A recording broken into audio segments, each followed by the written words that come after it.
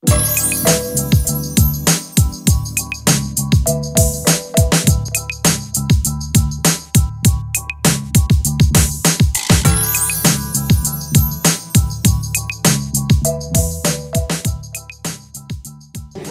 eh, muy buenos días, si os parece vamos a comenzar ya porque según mi reloj llevamos ya 12 minutos de, retraso y sobre todo tenemos una mañana intensa y, completísima y, creemos que, es fantástica, fantástica programación. Eh, Blanca Rodríguez Ruiz y, yo como directoras del curso vamos a decir nada, dos palabras porque además de ir con con retraso, pues, eh, pues bueno, vamos a, a, dar las conferencias mañana y pasado y, seguramente intervendremos más. Así que eh, simplemente decir que, eh, bueno, dar las gracias primero a, Amparo Rubiales y a los consejos sociales, al Consejo Social de la, de la Olavide por, permitirnos hacer este curso, el segundo año que hacemos un curso eh, vinculado con, temas de igualdad. Y claro, este año se cumplían los 10 años de la, de la ley y parecía bastante, bastante claro. Y, bueno, pues Blanca Rodríguez se, se, se, sumó, digamos, a este, a este, a este equipo eh, para, para, organizar el, el, curso, esperamos que sea de, de, vuestro interés. Hemos querido simplemente bueno, pues acercarnos a, a, estos 10 años, ¿no? que, que, que, que se ha avanzado qué nos ha avanzado, qué tenemos todavía que, cambiar y lo hemos hecho básicamente pues eh, incluyendo los aspectos que trataba la ley, tanto los aspectos eh, eh, digamos constitucionales como algunos aspectos que antes no se habían tratado, como el derecho de, paternidad intransferible u otros ámbitos de como la cultura, el acceso a los recursos, la empresa, en fin, absolutamente todos los, los grandes ámbitos de la, de la, de la ley que se van a tratar en, en distintas, mesas, eh, en distintas mesas redondas. Así que mm, no voy a decir nada más, simplemente eh, espero que, sea de vuestro interés, que participemos todos, que, entre todas y, todos consigamos eh, bueno, pues desmenuzar un poquito más cuáles han sido estos avances y estos retrocesos de la ley de igualdad, todo lo que nos queda todavía por, por caminar y, conseguir ¿no? para, para llegar a, la, esta igualdad efectiva. Así que yo me digo, Blanca, si... si...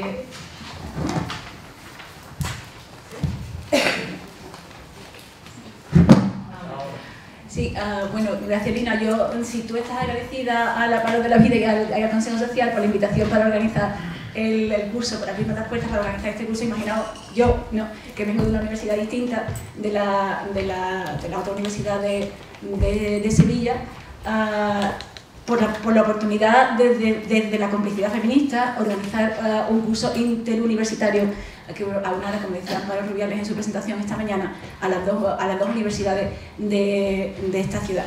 Uh, por, por, hacerlo uh, con la en complicidad feminista y por hacerlo con Lina, con quien me une una larga trayectoria académica y de, y de amistad personal que se remonta a nuestra, a nuestra época de, de, de doctorado y sobre todo por hacerlo efectivamente con complicidad feminista, como decía, sobre la ley de igualdad, porque hay una cuestión que, que a mí me preocupa uh, especialmente y que es transversal a mi trabajo, uh, a mi trabajo académico en materia de género y que es lo que yo a mí me gusta llamar la pseudo-igualdad o la igualdad aparente.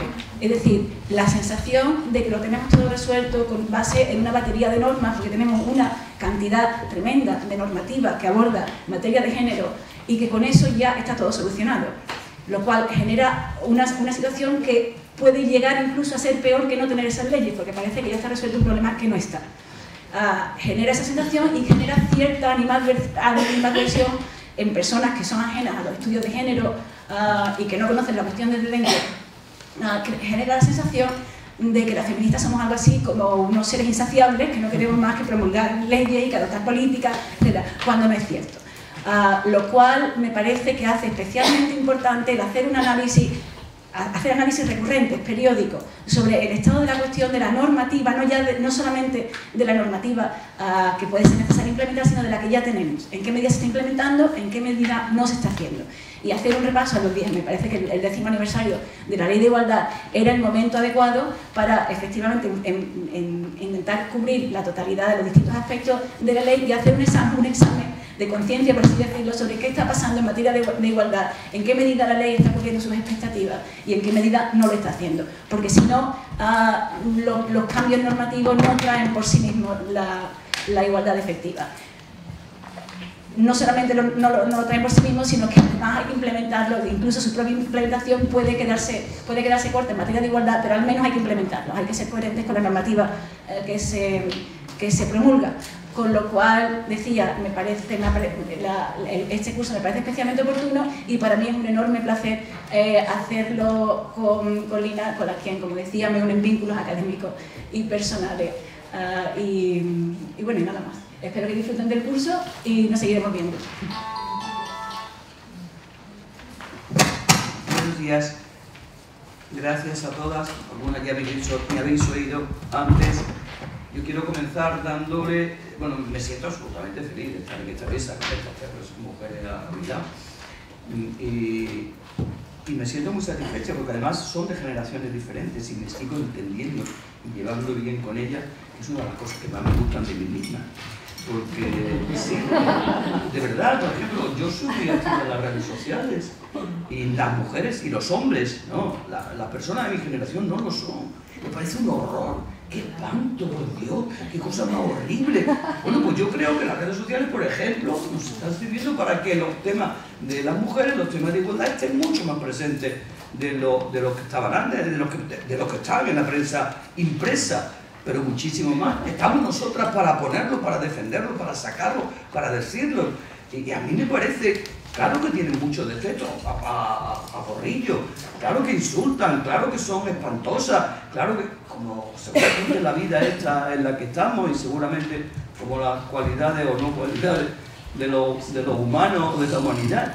Pero creo que en ese sentido Mm, a mí me satisface mucho el poderme entender con mujeres jóvenes, con mujeres de otras generaciones y me satisface enormemente el que Lina, con la que repito como, como directora, mm, yo, yo de la patrocinadora del Consejo Social, ningún Consejo Social, esta vez lo organizamos de los consejos sociales, pero la que se lo pudo organizar un curso sobre igualdad, sobre género, es, es a mí, como os he dicho antes, dedicado media, media vida a la universidad, otra media a la política, un paréntesis en la abogacía, pero siempre toda a las mujeres. Porque cuando yo estudié Derecho, que ya ni se sabe lo de años, pues las mujeres no estudiaban, éramos seis mujeres en mi, curso. Y yo, sin tener conciencia feminista, sin que nadie me lo impulsara, sin que nadie me lo dijera, me planteé, eh, ¿y por qué le pasa esto a las mujeres, porque las mujeres no pueden estudiar, y eso era la, en España de Franco, como podréis imaginar.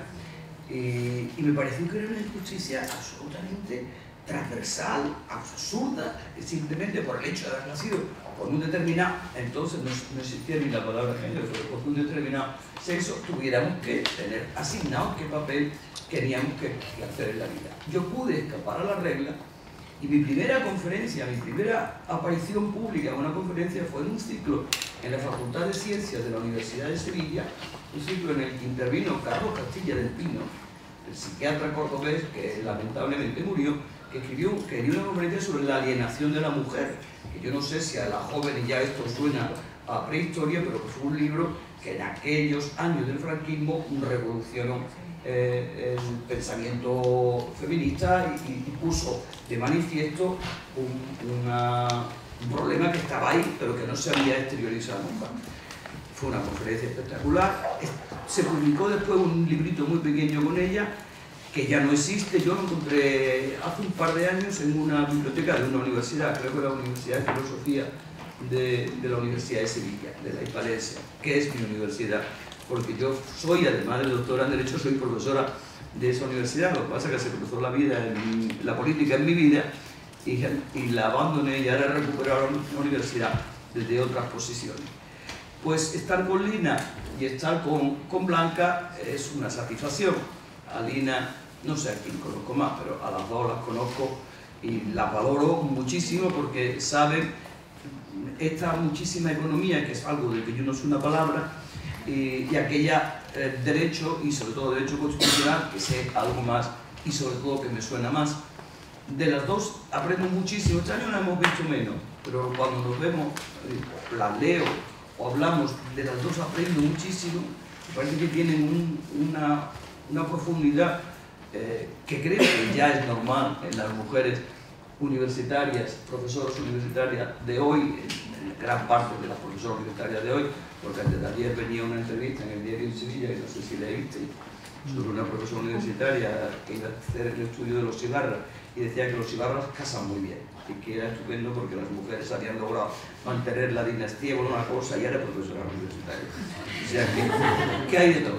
Pero bueno, estas no son, estas no son de, de esa calibre, pero a mí todavía me sorprende cuando las veo y cuando las oigo porque digo qué nivel tienen las mujeres en la Universidad Española, pero probablemente es que las mujeres tengamos mucho más nivel en casi todos los terrenos.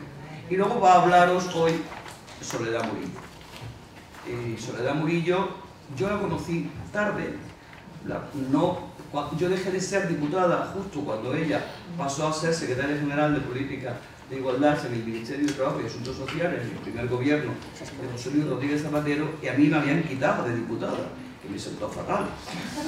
Fatal me sentó que escribí un libro, no, vamos, no solo sobre eso, pero lo que, me, lo que me motivó, lo que me impulsó a escribir aquel libro, que se llama Una mujer de mujeres, es justamente ese cabreo que agarré, porque yo quería ejercer la profesión de abogado, tenía mucho interés, pero no pretendía que, me, que dejar de ser diputada ese año. Y fijaros por donde perdí la oportunidad de esa primera legislatura de José Luis Rodríguez Zapatero, que fue la legislatura de la igualdad, de las leyes de la igualdad que existieron las mejores leyes pues eh, que no se han vuelto a repetir de la historia de España por la ley integrada contra la violencia, que luego me refiero un poquito a ella, la ley de efectiva contra la igualdad entre mujeres y hombres, para la igualdad efectiva entre mujeres y hombres, a mí me encanta eso de que las mujeres vayamos la única vez que vamos delante de los hombres, la ley de matrimonio de parejas del mismo sexo, la ley de dependencia que nos afecta fundamentalmente y más tarde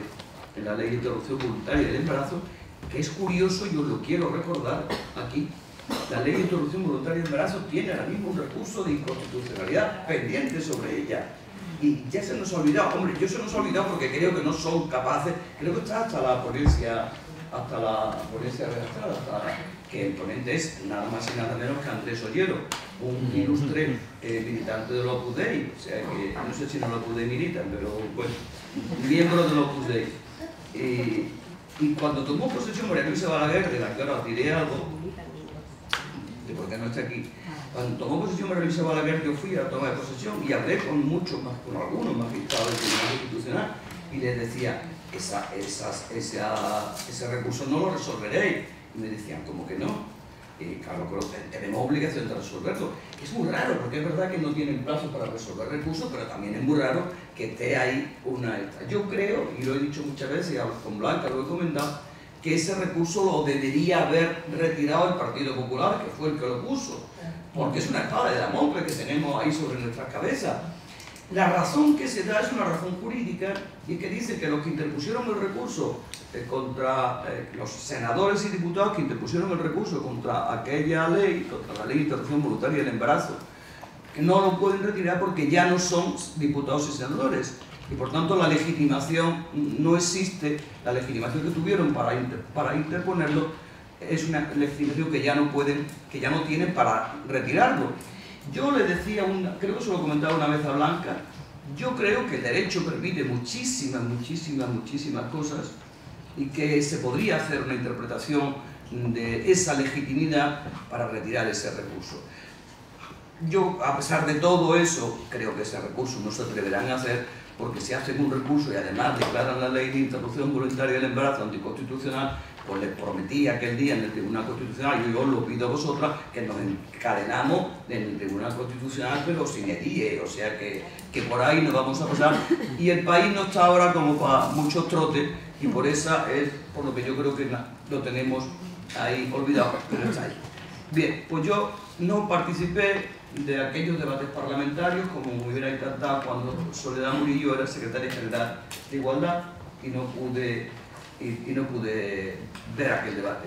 Sin embargo, sí incluí en, el libro ese que os digo, Una mujer de mujeres, esta ley, una reflexión muy corta y muy mala sobre esta ley, porque es una ley, la ley efectiva para la igualdad es una ley absolutamente capital en la historia mm, de la historia de la igualdad, de la no discriminación, la historia del feminismo y la historia de las mujeres. Pero como después he seguido haciendo muchas cosas, pues he tenido la oportunidad después de conocerla, de oírla y de aprender muchísimo de ella. Pero ahora pasaría a presentaros, a deciros algo de, no presentaros porque todos sabéis quién es, estuvo también el año pasado en el curso que hicimos sobre, con Ana de Miguel y Lina sobre el, mito de la libre elección, que, es fantástico, ahora mismo nos tiene como anillo al dedo, eso, bueno, siempre nos ha venido bien eso del mito de la libre elección, pues tuve la oportunidad de, ya estuvo Soledad también aquí clausurando el, el curso del año pasado, y la he oído muchas veces y he aprendido muchísimo de ella. Antes de deciros algo de, de Soledad, deciros que no está aquí María Luisa Balaguer, como estáis viendo.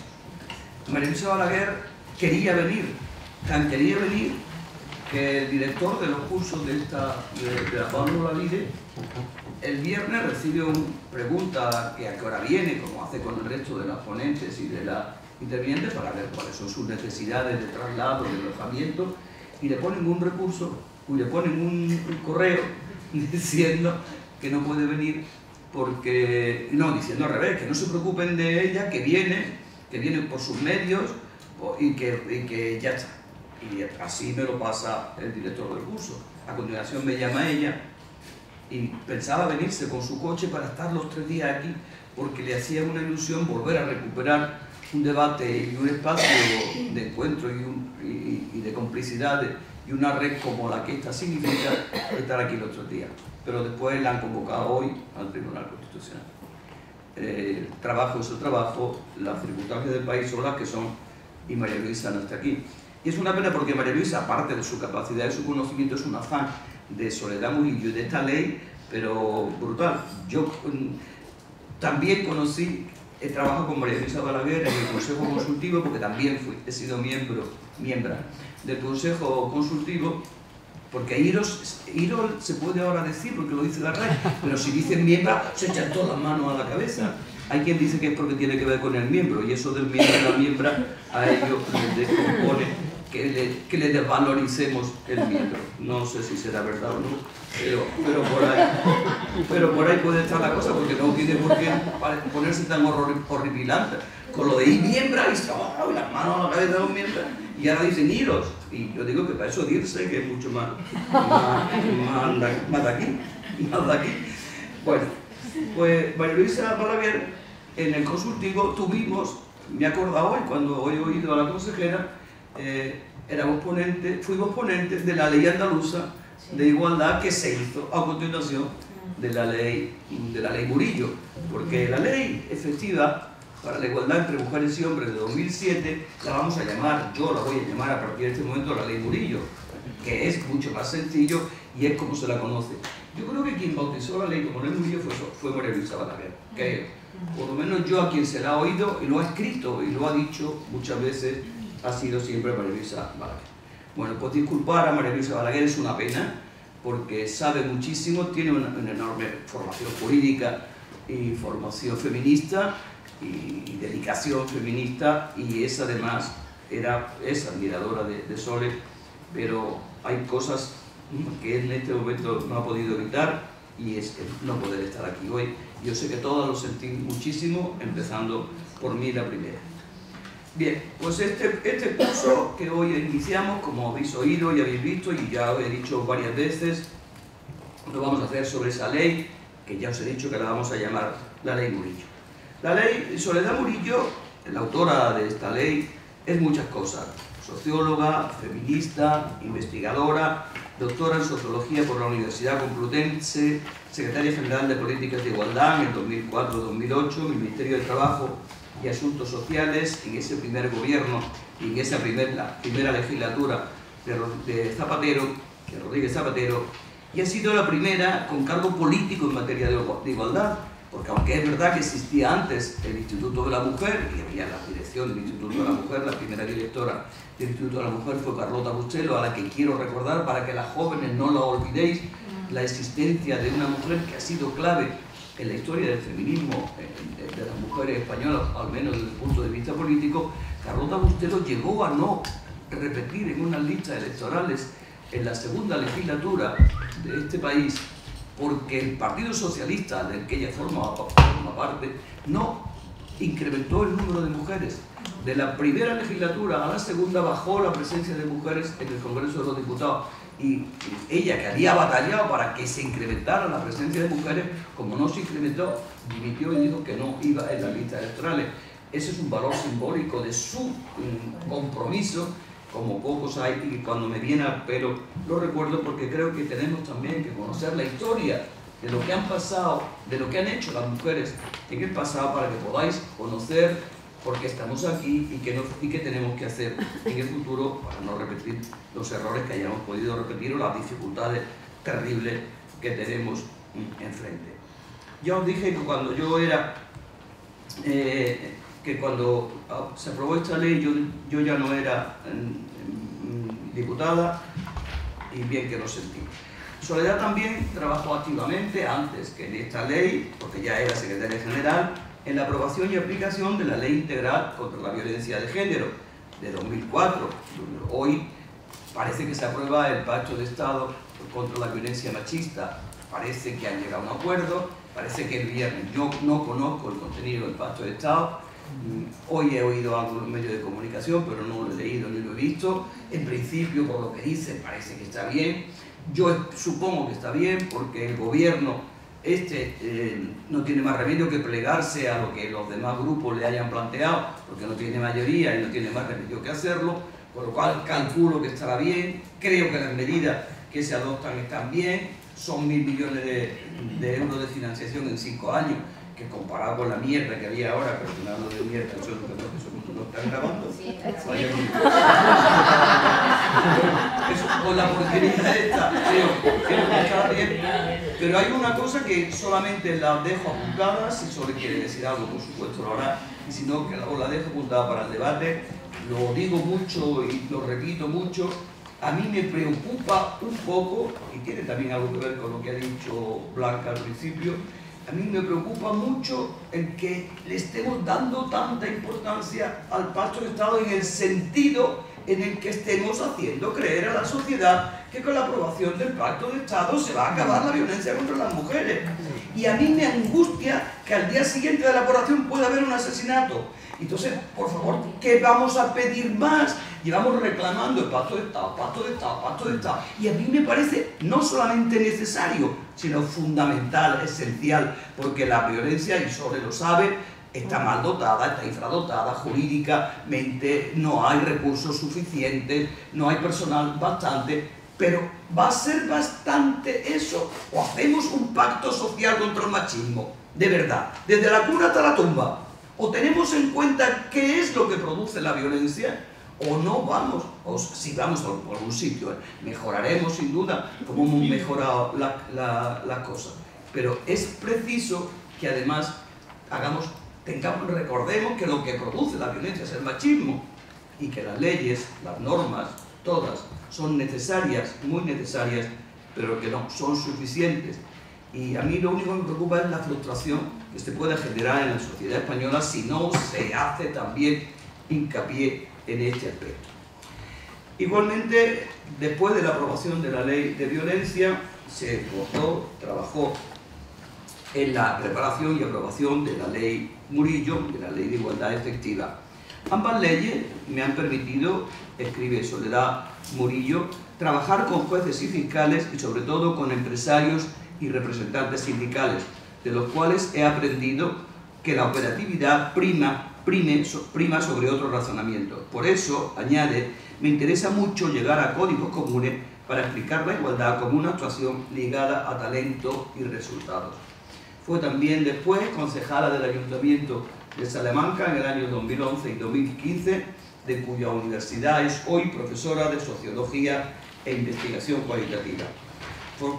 Formó, formó parte, creo que hasta 2013, del CEDAW, el Comité Antidiscriminación de Mujeres de Naciones Unidas, que está bien que lo haya dejado por una sola razón, ahora podemos disponer más de ella. Antes se tiraba fuera de España un montón de semanas al año y hacía un trabajo que le, que le ha dado una mayor formación y preparación todavía, pero estaba mucho eh, fuera de nuestro país. Su principal línea de investigación, y esto sí me interesa mucho destacarlo, surge del análisis del tiempo, en cuanto que es el principal capital de las sociedades desarrolladas, que es lo que, que lo dice ella, son palabras suyas, por lo que prefiero hablar de corresponsabilidad antes que de conciliación, que parece ser solo un problema que afecta a las mujeres cuando se trata de una designación de roles. Y así es. Yo recuerdo, porque no estuve en los debates de la ley, yo recuerdo que la primera vez que yo he oído explicar por qué había que hablar de corresponsabilidad y no de conciliación fue en una conferencia en Sevilla cuando era presidente de Piña, en, en, Sevilla, donde Soledad explicó perfectamente bien cómo de conciliación nada, porque la conciliación es nosotros y la corresponsabilidad es colectiva, pero también, repito, os lo, lo, lo explicará ella. Es fundamental para profundizar en esto que leáis su libro El mito de la vida privada, de la entrega al tiempo propio, cuya segunda edición, el siglo XXI, es de 2007.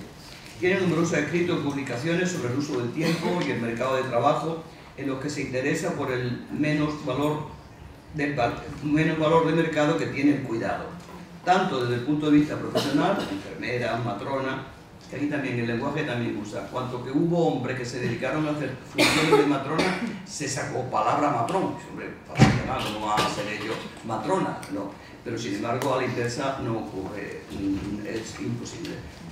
No, si, si hubiera sido al revés, nos tendríamos que llamar matrono nosotros, porque eran ellos los matrones. Pero como no es así, pues hay matron, matrones también ahora, matronos. Eh, pues eh, está desvalorizado el trabajo, de, el, el, esfuerzo, el, trabajo, el cuidado del punto de vista profesional y desde la óptica de quien lo dispensa las mujeres en su vida privada. Soledad ha escrito, y esto se lo, ella me habrá oído, lo he leído varias veces, pero me gusta mucho repetirla, una frase que dice, la maternidad ha sido una penalización para las mujeres, porque se consideraba que no era materia social, sino un asunto privado. La vida privada no era un espacio de reserva, donde todo debe estar permitido. Más bien, al contrario, la vida privada aún adolece de una falta de democracia en cuanto a reglas de respeto, reparto de tiempo y en consecuencia de falta de autonomía para las mujeres. Ahora nos quieren hacer gestantes, no madres, para que ellos puedan ser padres, porque les entraron las ganas de ser padres que nunca morir. Pero bueno, esa es otra historia en la que no, voy a, no me voy a detener y no será por falta de ganas. Por último, también afirma Soledad que le interesa la participación política de las mujeres, entendiendo esta como una participación en la vida pública, no solo desde partidos y sindicatos, sino a través de las numerosas asociaciones de mujeres. Todo lo cual lo recoge en otro de sus libros, La ciudadanía activa, las asociaciones de mujeres, editado por el Consejo de la Mujer de la, de la, de la Comunidad Autónoma de Madrid en el año 97. Y muchas más cosas que podéis encontrar en Internet, lógicamente. Ahora lo importante es oírla hablar a ella, hablar de la ley de igualdad. De la ley de igualdad, una conquista, porque lo fue. Esta ley pretendía, como sabéis, no voy a entrar en ella porque para eso la tenemos aquí, y vamos mal de tiempo, como ha dicho Lina, pretendía el cumplimiento de lo establecido en el artículo 9 y 14 de la Constitución, que fueron, que la Constitución española desde el punto de vista de la igualdad fue un punto y aparte. Hoy nos sirve, hoy queremos hacer otra Constitución que tenga realmente en cuenta la, igualdad de género y en eso de eso Octavio, Octavio Salazar, nuestro hombre cuota, eh, profesor del Constitucional, sabe mucho porque está trabajando en ello, pero, pero es cierto que esta ley fue un hito fundamental en aquella legislatura. Eh, eh, probablemente si, si reflexionáis sobre ella, o menos yo anoche cuando lo hacía, cuando trataba de reflexionar y la ojeaba y la veía, el resto de las otras leyes igualitarias que se hicieron en aquella etapa y a las que he hecho referencia antes eran muy importantes, pero probablemente si, si nos paramos a pensar esta ley es la más importante de todas, de todas las que se hicieron, y sin embargo ha perdido, ha ido perdiendo como, como de las otras nos parecen, bueno, han sido unos hitos y no los olvidamos nunca, y de la ley para la igualdad efectiva, si no llegan a cumplirse este año los 10 años y algunas nos hemos encargado de ponerlo y de decirlo que, oye, que se cumplen 10 años de la ley para la igualdad efectiva. Si no llegase por esto, no, sabéis, no sabíamos ya que había habido una ley para la igualdad efectiva.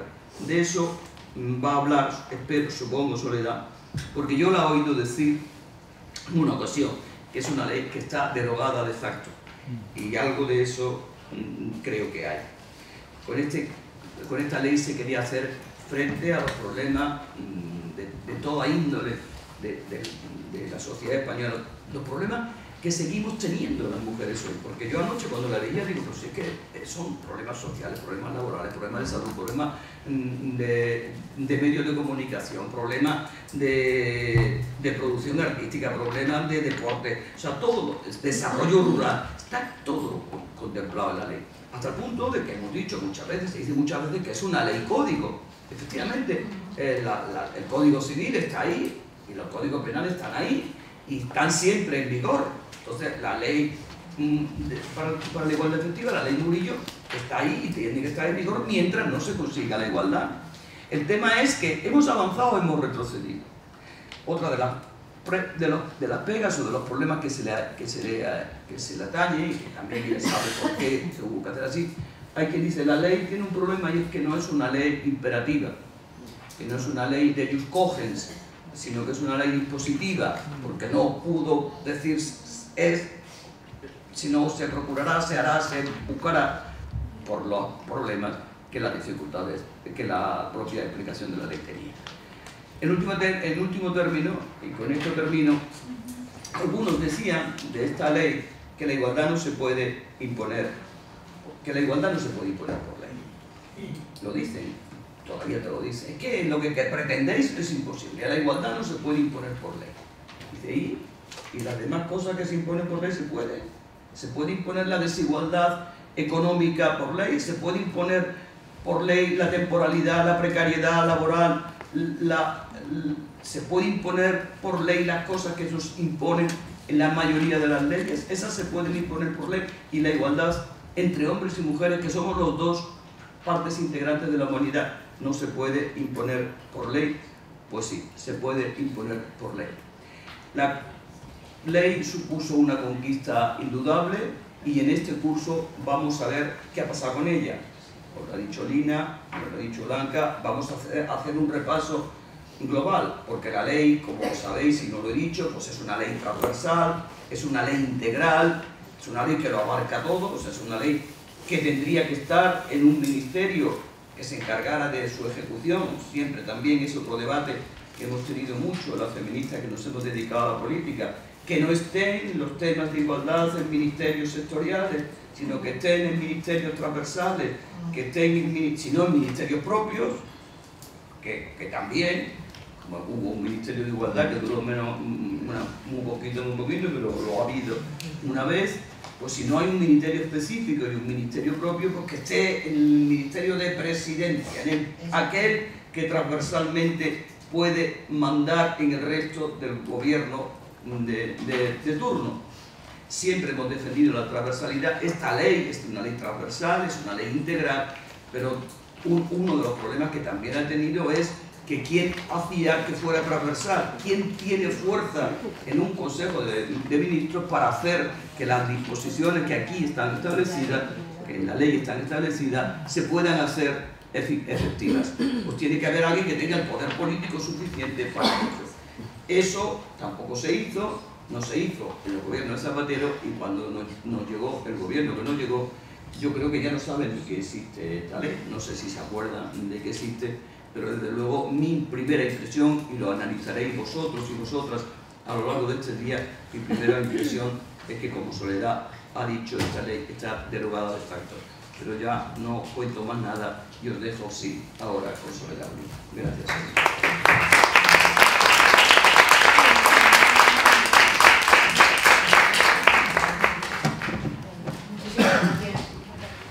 Muchísimas gracias por haberme invitado a esta fiesta, ¿no? porque es una fiesta de recuperación de, cómo, fue, cómo fue la, ley.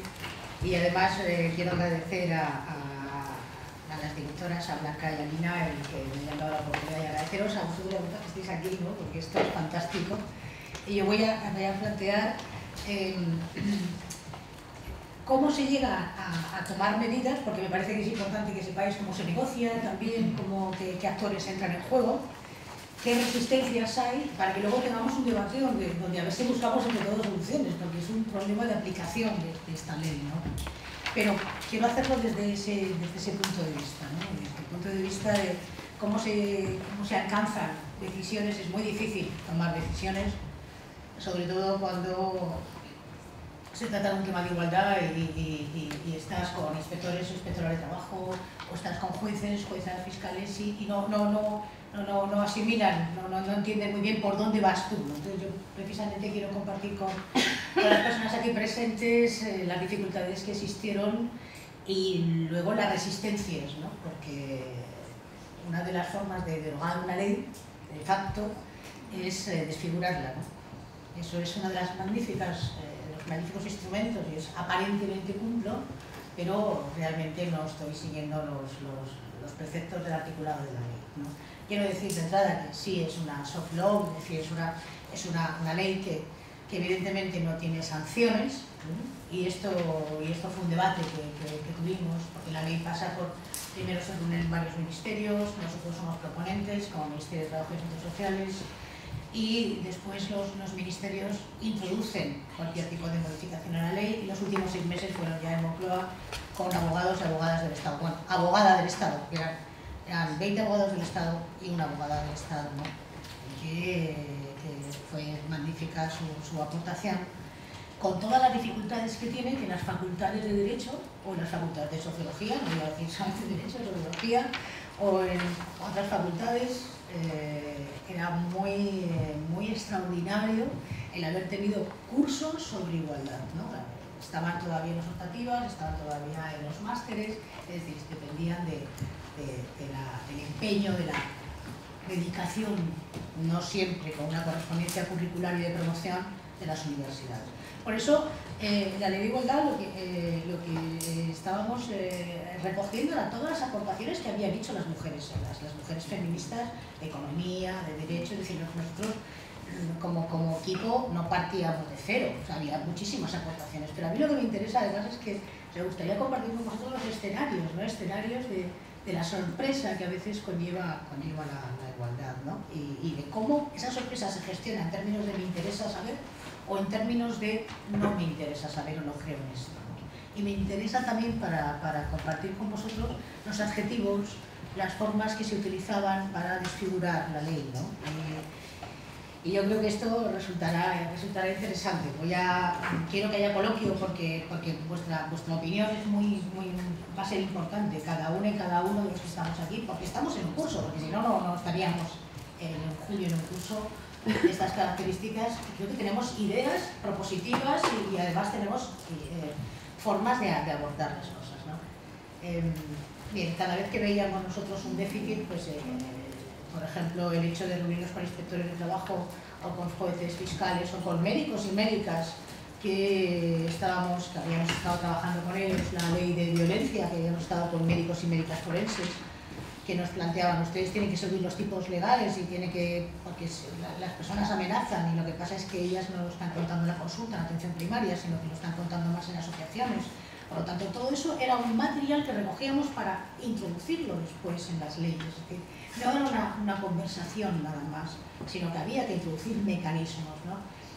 ¿Y ¿Qué es un mecanismo? Un mecanismo es algo que no está y vas a crear. Esto es un mecanismo, la estructura funcionarial ya la conocemos dentro de las organizaciones, pero los mecanismos son de nueva creación. ¿no? Y, sobre todo tenemos que la ley fuera una política pública. Las políticas públicas son las que crean derechos.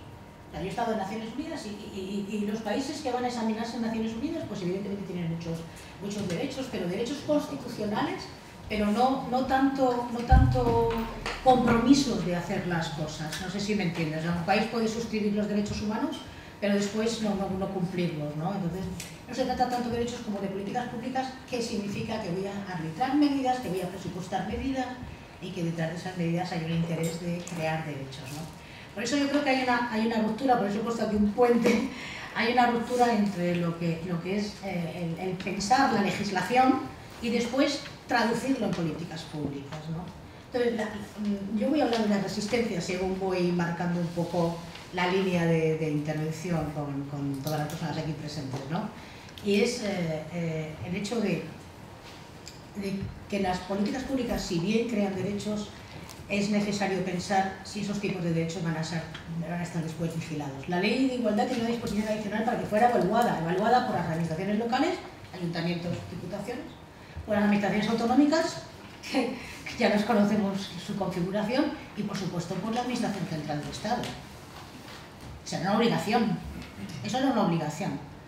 Evidentemente la Administración no se va a sancionar por no hacerlo, pero si no lo hace, tenemos que pensar por qué no lo hace, porque cuando se, hace un diagnóstico de si se ha aplicado una ley, sale una foto en primer plano, y en primer plano no salimos bien. Porque en primer plano significa ir medida a medida a ver si se ha cumplido una ley. Y, en, este, este sentido nos, parecía clave no hablar de las, de las mujeres como un tema especial. Pongo un ejemplo. Cuando estábamos discutiendo el tema de la maternidad, habíamos estado planteando que la maternidad era un asunto social. Dicho así, nadie te entendía, porque ya lo tenían en los convenios, en los convenios de los, trabajadores y las trabajadoras, ya tenían en los convenios que la maternidad es una situación excepcional. El problema era que nos, íbamos a fijar en, qué no tenía equivalencia, porque la igualdad al final no es que sea semejanza. La igualdad no es semejanza. La igualdad es, por un lado, tutelar las diversidades, es decir, que cada uno y cada una tenemos distintas identidades, y ahí pongan lo que quieran, nacionalidad, credo, orientación sexual, lo que quieran, pero además cada uno y cada una somos desiguales en términos de condiciones sociales, en términos de condiciones culturales, de participación en la vida pública, de participación en la vida política. Y por lo tanto, la igualdad no es un estatus legal, es una norma de comportamiento. Y cuando hablo de pública, significa en el sentido de tener acceso y no solo acceso a unos puestos, sino a la toma de decisiones de cualquier organización. Me da igual que sea una universidad, que sea un hospital, que sea un juzgado. Entonces, en ese sentido, es que la desigualdad parte de esa dificultad de acceso. Ahora, si yo trato a las mujeres como algo especial, ya, ya, empezamos a, a poder eh, abrir puertas al mecanismo de desfiguración de cualquier exigencia de igualdad. Por tanto, la igualdad no es semejanza, no borra la diversidad, todo lo contrario, tutela las diversidades y justo lo que plantea es una equivalencia de derechos, es decir, que yo no tenga que buscar, no tenga que cambiarme un curso con un certificado de trabajo, porque si yo en mi casa tengo una abuela con Alzheimer, eso no está en los estatutos de las universidades, está en los contratos de trabajo, por lo tanto, ese, déficit en cuanto a igualdad de trato y consideración es lo que yo tengo que, corregir. Y les pongo un ejemplo, la maternidad, por ejemplo, si yo tenía una criatura en agosto, perdía las vacaciones, pero si tenía un accidente laboral no perdía las vacaciones, me acumulaban. Entonces, para que alguien entienda lo que es un asunto social, es que no haya en absoluto excepciones, sino que exista equivalencia de derechos sin excepciones, sin excepciones. Cuando nos entrevistábamos con las empresas y las empresas decían, bueno, es que las mujeres tienen especiales dificultades, especiales problemas, bueno, pues nos quedábamos con el concepto de dificultad y problema lo anotábamos. Hay que llevar siempre un cuaderno de bitácora, ¿no? Ese cuaderno de bitácora que hace que te guíes en el mar, ahora ya será por todos los medios electrónicos del mundo y todo lo que queráis, pero evidentemente un cuaderno de bitácora también es para saber cómo, cómo, cómo se arbitran las decisiones y cómo se distribuyen privilegios y cómo se distribuyen favores, pero en todos los sentidos. ¿no? Por eso eh, nos, nos planteamos también que fuera discriminación directa para que los jueces y las juezas no tuvieran que pensar esto que es discriminación directa directa, que cualquier pregunta a una chica joven sobre un currículum no tuviera en ningún caso, en ningún caso, ninguna indagación sobre su vida personal referente a hijos o hijas. Y eso es la discriminación directa. Y en el caso de que lo tuviera, por eso está en la ley, se podía recurrir al contencioso administrativo. Hay 300 mujeres que han recurrido y han ganado. Y a mí no me tienen que preguntar si me gustan los niños o las niñas, porque evidentemente son preguntas sesgadas. A los hombres se les fideliza para la empresa, es un padre, por lo tanto va a ser el principal proveedor de renta, Padre ya saben que no solamente aporta apellidos, aunque ha cambiado la ley, pero aporta apellidos y aporta renta, la renta principal. Y eh, para que no tuviera ningún tipo de problemas pusimos discriminación directa. Y después Margarita Uría eh, que es una diputada del, del PNV, también introdujo en, en los rituales, pues en el Código Civil, ese ritual y, y la quieres para siempre, y quieres para siempre, estas cosas que se hacen de siempre. Bueno, pues en este caso introdujo también compartir tareas domésticas. Es decir, estábamos, estábamos en un ámbito, como muy bien ha dicho Amparo Rubiales, donde eh, la igualdad estaba impregnando todos los sectores, pero a la vez, claro, eh, eh, se daba por hecho, como muy bien ha dicho Blanca, que la igualdad ya estaba conseguida, por tanto había extrañeza y perplejidad. ¿no? Y en este sentido queríamos que la igualdad fuera una política pública, es decir, que se convirtiera en, no como principio, en eso está todo el mundo de acuerdo, desde la persona más conservadora en términos de mantener las cosas como están, hasta las personas más, más, más innovadoras, eh, como principio todo el mundo lo acepta, no hay ningún problema. La resistencia se plantea cuando se quiere hacer efectiva. Hacer efectiva. Entonces, cuando se quiere hacer efectiva es cuando la, la, la resistencia se plantea. Por ejemplo, nadie está dudando de la ley de, eh, fiscal en cuanto a los compromisos fiscales que tenemos todos a la declarar a Hacienda. Nadie. A pesar de que tenemos pruebas evidentes, absolutamente cotejadas, de que hay un número de infractores a Hacienda ¿no? enorme. Y hemos, y en el CREO, que es el, el, el, el, organismo anticorrupción internacional, somos de los, estamos entre los 10 primeros países en corrupción. En corrupción en términos de renunciar y esquivar los controles fiscales. Pero nadie duda de la ley de Hacienda, ¿me explico? Entonces, nosotros y nosotras tenemos que aplicar siempre el derecho a la impugnación.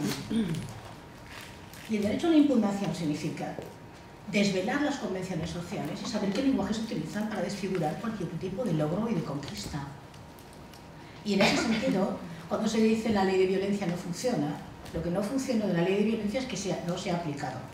No se ha aplicado a la ley de violencia. Simplemente pongo dos ejemplos. Los hombres no hacen trabajos comunitarios en los ayuntamientos, trabajos comunitarios que no sean dedicarse a la jardinería, sino trabajos comunitarios que signifiquen revocar la propia percepción de que ese sujeto me pertenece, como es la mujer, y dedicarse a trabajos de cuidado y atención a otros. O sea, desprenderse de sí, mismo, autorreferencial, y poderse dedicar a otros. Esto no se ha hecho. Tampoco se ha hecho una ley de violencia que en los colegios, cuando se habla, no, todo depende de la educación. Bueno, yo llevo dando clase 22 años y de verdad excepto cuatro en mi departamento, el resto no habla de igualdad porque está hablando de educación. O aunque esté hablando de estructura social, o aunque esté hablando de movimientos sociales. Entonces, yo lo de la educación mmm, me parece un mito. Es un mito, el mito de la educación.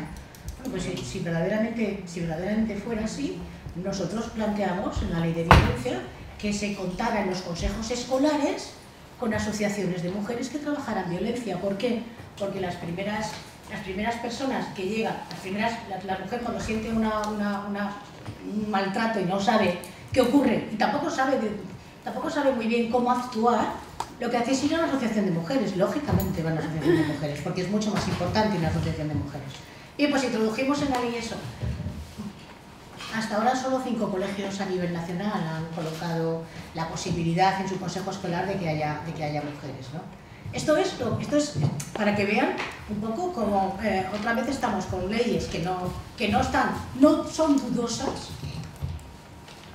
porque la esquivación o digamos que la, la parte de, vulnerar los derechos que, plantea esa ley, por supuesto la ley de Hacienda son absolutamente sancionadoras, porque la propiedad privada no es la igualdad, a nadie se le ocurre que vayamos a la educación, no diga no, no te conviene sustraer lo que no te pertenece porque estás cometiendo un acto impuro, sino que directamente se aplica, se aplica ¿eh? el derecho a la propiedad directamente, sin ningún tipo de, de, de contemplaciones, no depende de la conciencia, de que te eduques, de tu sensibilidad, no creo en ello, no, no se hace ningún tipo de malversación de, de conceptos ni de adjetivos, y en este caso pues, queríamos que la igualdad fuera una política pública, por eso le hicimos, le hicimos una, una ley muy amplia y precisamente como teníamos que negociar con tantos actores sociales, empresarios, sindicatos, también se planteó que fuera, o sea, siempre se planteaba el tema de las sanciones, no de las sanciones. Entonces, en una negociación, es algo que, que yo creo que, que, es importante que, pensemos en ello, en una negociación,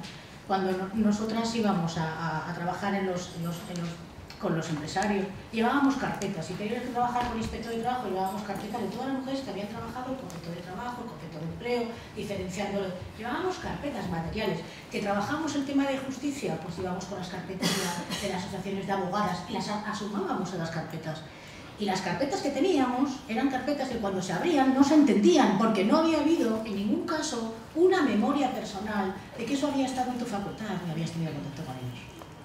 Con estos materiales no habías tenido contacto. Con lo cual, eh, la universidad era otra de las, de, las, de las, digamos, esferas donde teníamos que actuar. Por eso montamos las unidades de igualdad. Bien. Por eso quiero que compartamos las resistencias y si podemos además eh, también pues, cada uno desde su experiencia y, cualquier duda, o sea, yo quiero que esto se convierta porque las resistencias son, son, son enormes. Bien. Uno de los temas que no se distingue y que, y que, resulta clave es distinguir discriminación e igualdad. La discriminación todo el mundo la detecta rápidamente. Hay menos mujeres que la prueba estadística, hay menos mujeres en los consejos de administración, hay menos mujeres en en, los deportes, por ejemplo, o sea, de los, de los deportes, en el año 2014, la Federación de Deportes es que es otro tema, es otro tema, es un territorio comanche la Federación de Deportes, se gana mucho dinero, ¿eh? y entonces los, los, los, los, que, los que están como cabeza ¿eh? eh represidiendo las federaciones ganan muchísimo dinero y ganan otra cosa fundamental, la red, la red de favores y de... Bueno, en el año 2014 tenían la obligación de tener a tres mujeres, por ejemplo. eso en el año 2014. Y, y hay una cosa fundamental y es que la discriminación sí puede, sí puede perfectamente identificarse. Ahora bien, ¿qué hacemos con respecto a la discriminación? Bueno, la mayoría de las personas que, han, estado dentro de, los, ámbitos de, resolución de cuando estábamos trabajando la ley tenían una explicación para la discriminación. Y pero no solamente esto, también cuando yo estaba en el Consejo de Europa, cuando estaba en Naciones Unidas, la explicación es la siguiente. Atención a la malversación, luego hablamos de Bankia, pero de Bankia es pecata minuta. Atención a la malversación. Lo que plantean es, las mujeres son muy capaces, pero no pueden, atención al no pueden, no pueden comprometerse en términos de un trabajo más intensivo, o un trabajo en términos de una jornada laboral extensa o con esa flexibilidad que hay ahora gracias a nuevas tecnologías donde un viernes te pueden decir que, el lunes por la mañana quieren un, quieren un tema o quieren que viajes a Bruselas y vuelvas cuando no tienen ninguna necesidad de hacer noche fuera. Pero las empresas privadas están absolutamente eh, organizadas en términos de disposición de tiempo informal, donde una cena de trabajo es clave para cerrar un contrato y no se, no se suele arbitrar los, las condiciones de contrato en lo que es una reunión formal. Por lo tanto, tenemos una discriminación indirecta es decir, no todas las personas pueden, pero además el hecho de decir que las mujeres no pueden, a pesar de que sean muy capaces, te sitúa dentro de maravilloso colectivo con especiales problemas de integración. Fantástico. Los especiales problemas de integración, de promoción, de acceso, de empleabilidad. Pónganle los apellidos que quieran, abran la... Entonces, claro, al, al considerarlos un colectivo, lógicamente la discriminación funciona muy bien, porque es evidente que, vas a detectarlo y, puedes incluso aportar pruebas estadísticas. Aunque las pruebas estadísticas después no tienen por qué revocar las convenciones y los derechos de admisión. Pero ¿qué significa la igualdad? Promover mecanismos, donde no hay que existan. Donde no hay que existan. Es decir, por ejemplo, en las universidades, las unidades de igualdad. No había unidades de igualdad. Teníamos unas universidades feminizadas, feminizadas pero teníamos eh, universidades donde evidentemente eh, las, estructuras de decisión eran masculinas. Con lo cual, si yo tengo que permitir a una alumna mía que cambie de grupo, el vicerrectorado de docencia te decía que tenía que aportar un contrato de trabajo. Oiga, mira, aporta libro de familia, es la única hija y tiene una abuela con Alzheimer. Perdone, si usted no sabe lo que significa el cuidado, es que usted no... No, no, pero eso es un tema privado. Cuando yo quiero desactivar una vindicación, lo tengo que pasar a lo privado es privado mi orientación sexual, es privado mi religión, es privado, no, es un tema público. Es un tema público en la medida que las características nunca pueden ser recurrentes en términos de déficit de derechos. Pero si quiero desactivar una vindicación, lo convierto en privado. No es un tema privado que, no, que tengan una estructura familiar, es un tema privado que se ocupen o no se ocupen de los hijos, es porque ellas quieren ocuparse o no ocuparse de ellas se pueden, no, no, es un tema privado, es un tema público. Y como es público, la organización tiene que tener una medida. Si la organización no tiene una medida, es privado. Y por lo tanto, ahí tenemos una excelente estrategia para no hacernos cargo de nada. Porque como cada uno somos diferentes y tenemos nuestra realidad, pues la organización queda exenta, es sonerada de problemas. ¿Mm? Es sonerada de problemas. Porque los problemas ya los tiene la mujer que tiene especiales dificultades. Entonces, claro, ahí está todo el tema de promoción, de inserción, es, es realmente eh, preocupante. ¿no? Vamos a ver, eh, por ejemplo, cuando estábamos trabajando con las prestaciones de desempleo y el empleo, pensábamos, bien, eh, ¿Qué pasa con, los orientadores de los servicios públicos de empleo y las orientadoras de servicios públicos de empleo? ¿Qué, estamos viendo allí? Nos reunimos con orientadores y orientadoras. Habíamos hecho ya un plan para que las mujeres que habían sufrido violencia de género pudieran cambiarse, lo teníamos en la ley de violencia, pudieran cambiarse de eh, localidad. Por ejemplo, si yo trabajo corte inglés Sevilla, me puedo ir a corte inglés Córdoba o corte inglés que fuera de la comunidad autónoma andaluza. ¿no? Lo teníamos ya hecho. Pero curiosamente, eh, lo que no se había trabajado con las orientaciones de empleo, a pesar de que los institutos de mujeres ya trabajaron, incluso aquí en Andalucía se ha trabajado en los años 90, con los currículums ocultos, no se sabía cómo valorar todo lo que aportaba una mujer en el ámbito, en el ámbito privado. Y en el ámbito privado significaba, por ejemplo, que aunque yo no tengo la clasificación nacional de ocupaciones, que la clasificación nacional de es el catálogo que tienen los orientadores y las orientadoras de empleo, yo sí podía tener un currículum oculto. ¿En qué sentido? Pues he estado trabajando en X cosas, he estado voluntaria en X cosas, o como me decía el orientador laboral de, eh, Barcelona, es que tengo una, chica de 25 años que ha estado 6 años trabajando en, Estados Unidos, pero no tiene una certificación como que habla inglés. Entonces, ha estado trabajando de mil cosas.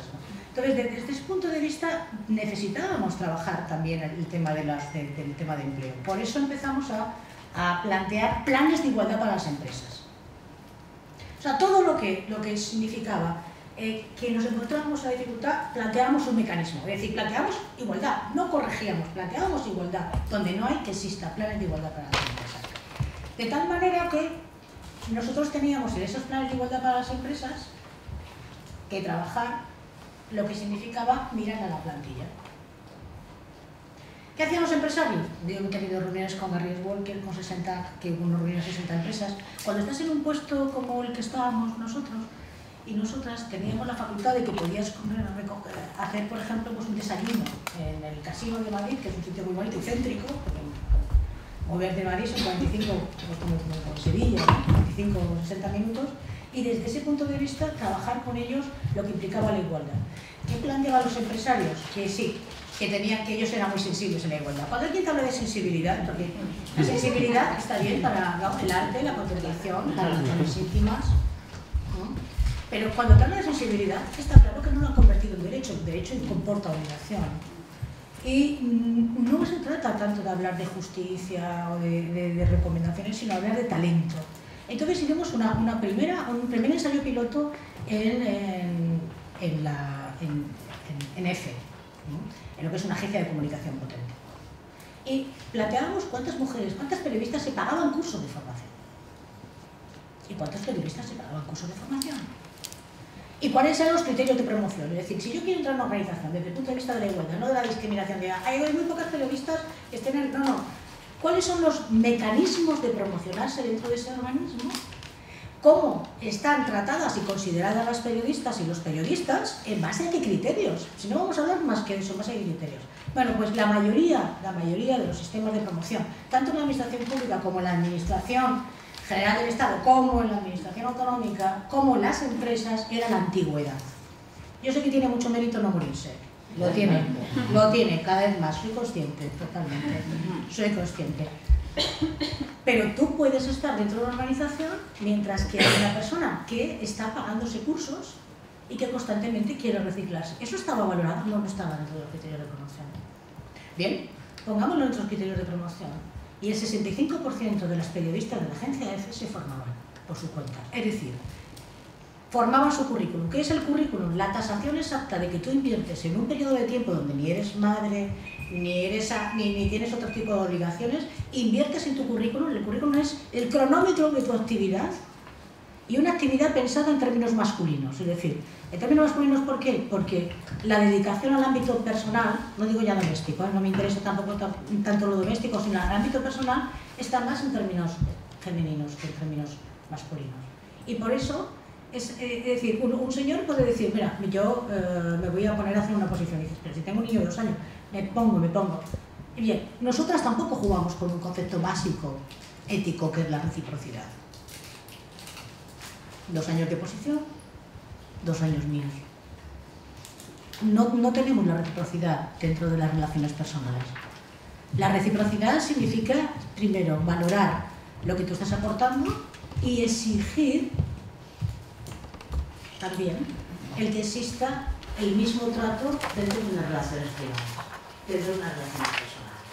Y la reciprocidad no entra dentro de nuestro parámetro de relaciones. Yo creo que la democracia en la vida privada tiene, tiene, tiene muchísimas cosas que todavía es importante analizar. ¿no? Eh, teniendo, teniendo, yo entiendo democracia como la igualdad de oportunidades vitales y profesionales, y políticas, y ciudadanas. Y yo creo que en ese sentido eh, no, no, tenemos la sociedad como, como es.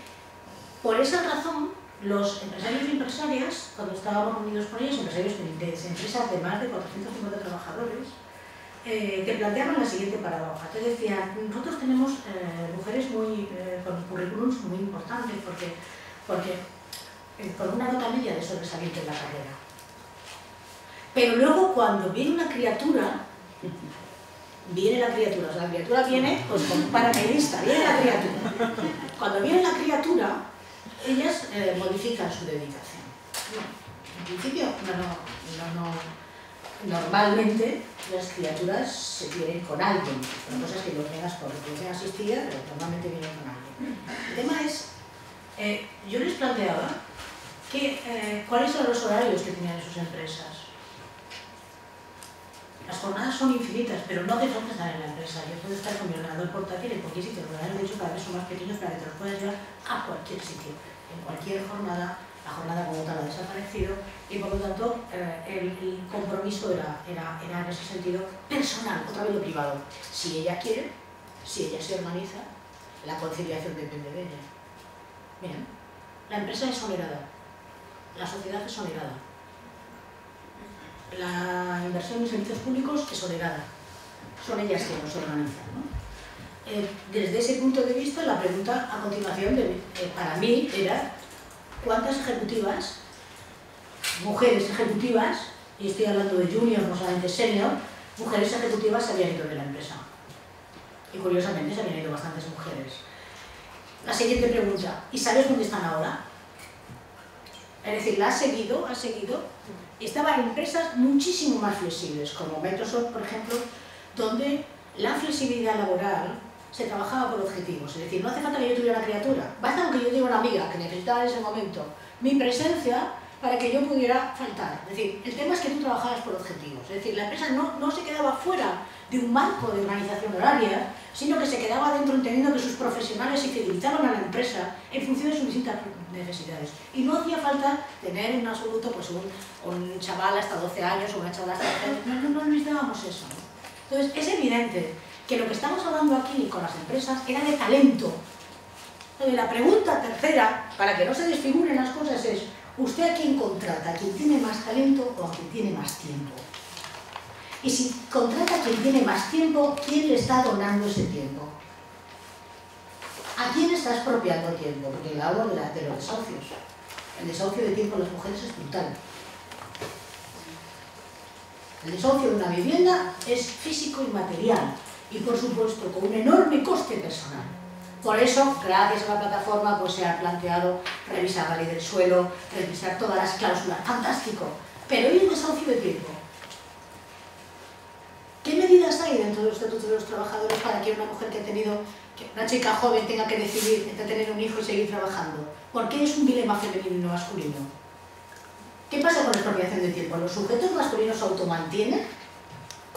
Quiero decir, se mantienen su propio tiempo y también si tienen responsabilidades familiares se dedican a su tiempo.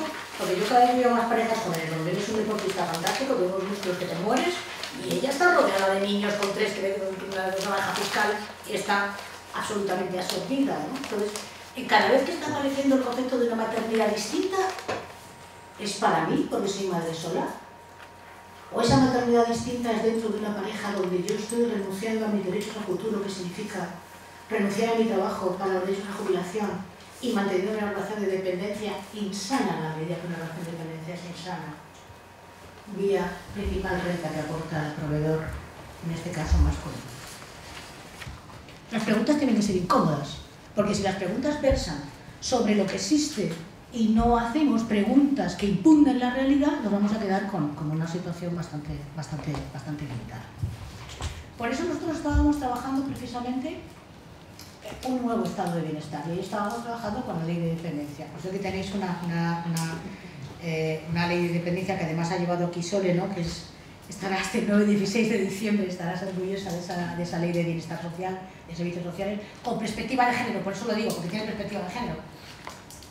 Porque con las leyes de dependencia, cuando estábamos trabajando en ella, justo cuando estábamos antes de la ley de igualdad, la dependencia un poquito después, el, el, la, ley de dependencia estábamos trabajando quiénes eran las cuidadoras principales. Pero no aquí se habla del cuidador. Atención, cuidador. Son las cuidadoras. No solamente expropian tiempos, se expropia salud. Y entonces hay cursos para que sepas levantar un, tiempo, cuerpo muerto. Y no, es que no quiero levantar un cuerpo muerto.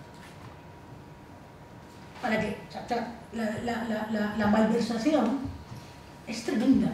Voy a ayudar a las mujeres que están cuidando para que puedan seguir cuidando. No, debe servicios públicos, públicos, de asistencia y atención a personas dependientes, donde además la dependencia ha cambiado de significado y ahora mismo lo que se valora es la autonomía. De hecho, en la ley de dependencia andaluza se valora la autodeterminación, que es una palabra todavía más potente, la autodeterminación. Por eso mm, nosotros estamos planteando cambios de significados, cambios de significados en, términos de, la ley. Y estábamos hablando precisamente de que, a pesar de que haya crisis económicas, sociales y políticas, es importante hablar de las demandas, es decir, qué, tipo de, vejez queremos y qué tipo, pero no para nosotros, incluso para las personas que son, que son más mayores.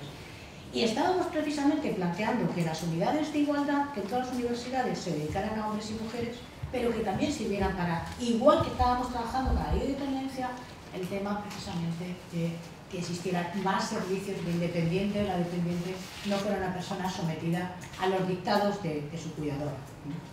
Bien, ¿qué ocurre? Que en todas las administraciones y en todas las organizaciones existe una estructura funcional. ¿Qué significa una estructura funcional? Pues que los funcionarios y funcionarias que formamos parte de ella tenemos, tenemos el control, y esto es algo que me parece importante compartirlo, es que si yo he hecho una oposición como grado de gestión, por ejemplo, gestión eh, dentro de la administración, y yo no he dado ningún tema dentro de la administración que tenga que ver con igualdad, y no he trabajado en la facultad nada que tenga que ver con la igualdad, todo lo que me venga de la transversalidad me va a parecer una carga adicional de trabajo y no me voy a creer en absoluto, vuelvo a la palabra creer, que es la que se utiliza permanentemente, que sea útil.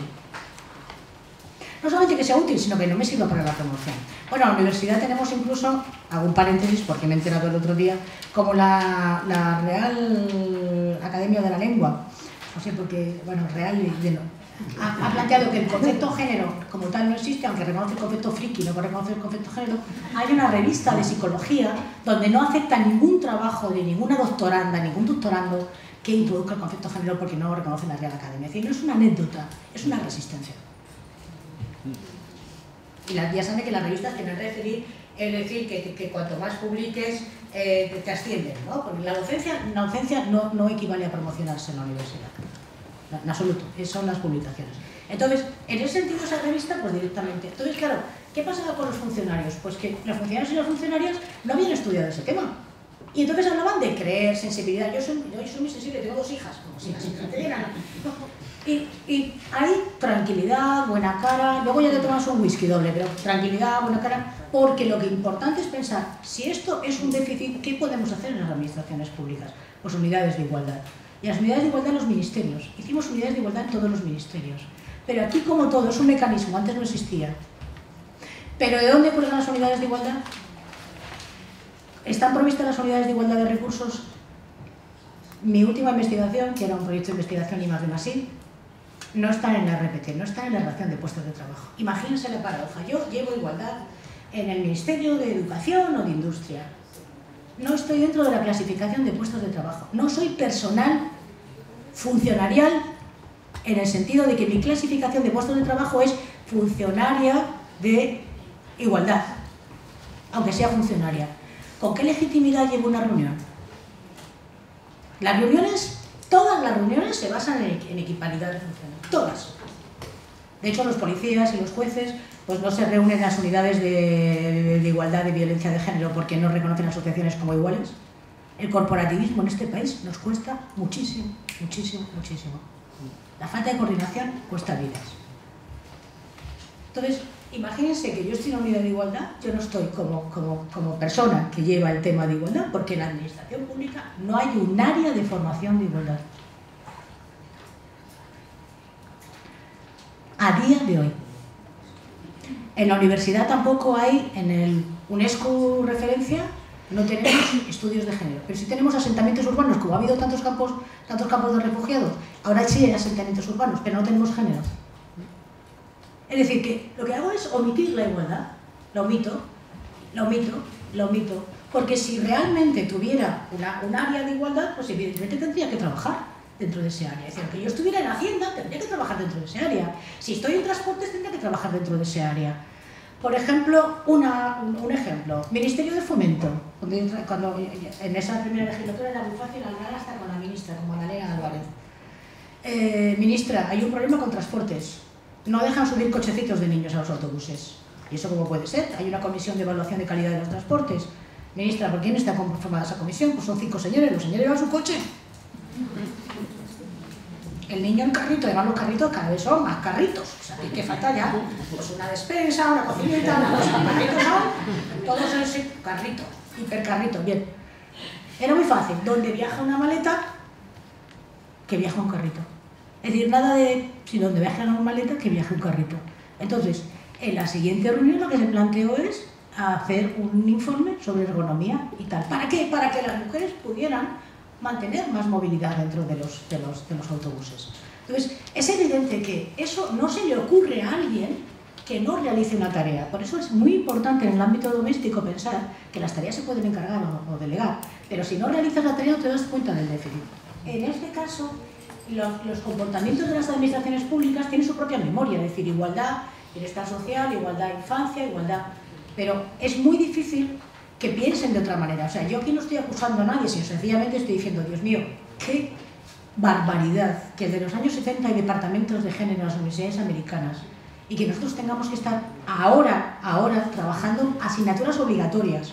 Las hemos hecho obligatorias, pero fíjense que en medicina, por ejemplo, no ha entrado. A mí me decía, un, me decía en la reunión de cardiología, cuando estábamos trabajando con la ley de violencia, porque los infartos, hay muchos infartos por temas de maltrato, me decían los de cardiología que los grupos de control de cardiología son masculinos. Un infarto en un hombre duele. En una mujer te da como una especie de aprensión, con lo cual se toman manzanillas y tilas. ¿Cómo se puede hacer un grupo de control con, con hombres? ¿Dónde está el rigor científico? Por lo tanto, es muy, es muy importante que nosotros, más que predicadoras o predicadores, nos convirtamos en digamos, impugnadores, que denunciemos esa realidad. ¿Cómo puede haber un grupo control solo de...? Eso es falta de profesionalidad, falta de profesionalidad. ¿no? Por eso, la pregunta es cómo se introduce en la estructura transversal. Por ejemplo, en la universidad, por ejemplo, en, en, en las organizaciones, por ejemplo, en un juzgado, ¿cómo se introduce en la estructura transversal? Porque si yo tengo memoria como organización y nunca se ha hecho antes, pero esto no se ha hecho nunca antes, hay una, hay una, hay una regla fundamental de la administración. Si tienes una idea, y alguien no la ha tenido antes, la idea no es buena. Si la idea prospera, es mía y no tuya. O sea, que esto que quede claro. Esto es así. Si la idea es, no, no, pero esto no se ha hecho antes, esto no, nunca se ha hecho antes, es que no tenemos antecedentes, los antecedentes, los maravillosos antecedentes como forma de vida, el antecedente. Y si tú lo haces, es evidente que vas... Pero luego, espérate de la idea, no luches por ella, que la lleve otro, pero que la lleve. Que la lleve. Porque a veces por apropiarse de las ideas era muy difícil. Yo tenía problemas, por ejemplo, a veces que el Instituto de Mujer me decía, pero solo al final el observatorio de, de, sanidad lo va a llevar el Ministerio de Sanidad, sí, porque los médicos y las médicas del Ministerio de Sanidad no entran al Instituto de Mujer. La gente no lee materiales de igualdad de salud, no los lee. Van al Ministerio de Sanidad. Y el Ministerio de Sanidad, la señora Salgado, ha montado un observatorio. Y además ha montado un observatorio con una médica. Y en ese observatorio se va a ver también cuáles son las consecuencias de tener una relación de maltrato con una media de 8 años en este país, sin decir absolutamente nada. Y porque los protocolos para que un médico de atención primaria no tenga el dilema entre creo a mi paciente el testimonio del paciente y lo que yo estoy observando, se genera un protocolo. Y eso lo tiene que hacer sanidad, porque llega a todos los médicos y médicas de atención primaria, pero también llega a los servicios hospitalarios. Y si lo hacemos nosotras, o decir, la transversalidad supone también desprenderse, dejar que otros sujetos se apropien en términos de gestionar, actualizar y vitalizar nuestros conocimientos. Bien, por tanto, el proceso transversal tiene que ser absolutamente en términos de que todos se impliquen. Pero nadie se implica si no tiene ventajas. Está claro. Yo le voy a decir un juez, usted tiene sensibilidad, yo la sensibilidad tengo a flor de piel para todo, pero para esto no. no. Si yo para proporcionarme como jueza no me van a pedir en absoluto ningún curso relacionado con violencia de género o con igualdad de cara, por ejemplo, a la custodia, si además en mi facultad no he recibido, porque la optativa me pillaba mal de horario y prefería hacer otra, o además en una optativa, ¿por qué voy a interesarme en términos de eficiencia profesional por un tema así? En ningún caso. Por eso cuando se habla eh, de, debemos formar, debemos formar, no, mientras no sea obligatorio y todo dependa de la sensibilidad, es tremendo. En el Ministerio de Trabajo, por ejemplo, yo propuse cursos de formación y evidentemente eh, le dije después al subsecretario del Ministerio de Trabajo que los cursos de formación significaban también tiempo, porque si no dabas el, estímulo, la política de incentivos de tiempo, se iban a hacer un este, porque saben que la administración es 02, 04, la administración es digital, lo digital, lo digital, ahora es lo digital, igual que los maorís tienen tótenes, nosotros tenemos ordenadores, por lo mismo. ¿no? Entonces, eh, por ejemplo, en los planes, de, en los planes de, de igualdad de las empresas ¿Qué se han convertido? ¿Cómo se ha desfigurado? Planes de conciliación para mujeres. Planes de conciliación para mujeres. No, si le damos todo tipo de facilidades, sí, pero el criterio de promoción es que yo esté disponible. El segundo criterio de promoción es que estéis siempre en situaciones donde el tiempo informal sea también un tiempo rentable. Donde se firman los principales contratos de las grandes empresas es en el Parco del Real Madrid y en el Parco del Barcelona. Y supongo aquí en el Parco del Betis y de Sevilla. O sea, bueno, exactamente. Entonces, todo, todo, todo tiene que ver con ese tiempo informal. Entonces, eh, eh, no se trata de que me ayudes a conciliar, porque yo no tengo por qué estar ocupándome de la responsabilidad doméstica. Y tampoco, si soy, por ejemplo, mis alumnas, cuando tienen que irse de Erasmus, primero hablan con su chico. Mis alumnos no. Mis alumnos dicen, Margarita, me voy. Venga, Varsovia. Qué bien, Polonia, cómo me gusta. Pero mis alumnas lo, hablan. ¿Por qué? Porque nosotras tenemos en, la relación, tenemos también una, necesidad de compartir y, digamos, de, de, de tener un proyecto común. Un proyecto común es, algo que, está, forma parte de nuestra identidad. Proyecto común con amigas, nuestro patrimonio afectivo, nuestro patrimonio personal, tiene que ver con compartir, no es una decisión singular. ¿no? Entonces, en las empresas, los planes de igualdad se referían a una cualificación colectiva. Es decir, ¿Cuántas personas tengo aquí que hacen y que dejan de hacer? Yo le dije, le dije a una empresa, que, a Dolite, que lo planteara con sus secretarios. Sus secretarias eran mujeres abogadas, economistas, con unos resultados excepcionales. Nadie les había preguntado, eran licenciadas, en aquel momento no había grados, eran licenciadas. Dicen, no, pero es que tienes una mujer economista, eh, tienes una mujer eh, que jurista, que habla dos idiomas y la tienes aquí de secretaria porque no te has interesado y porque tienes una idea de secretaria según la clasificación nacional de ocupaciones que es la que te asiste la agenda y te lleva el café.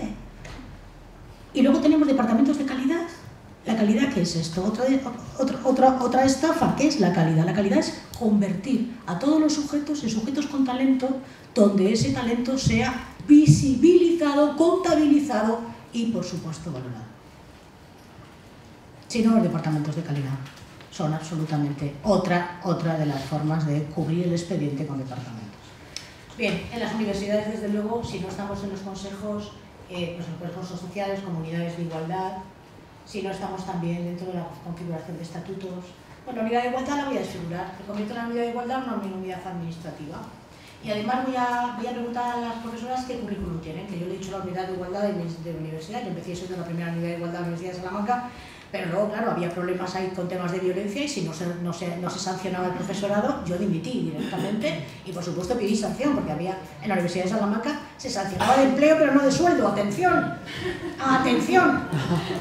Entonces, claro, es bueno, rector, tienes que estar satisfecho porque te van a hacer una estatua.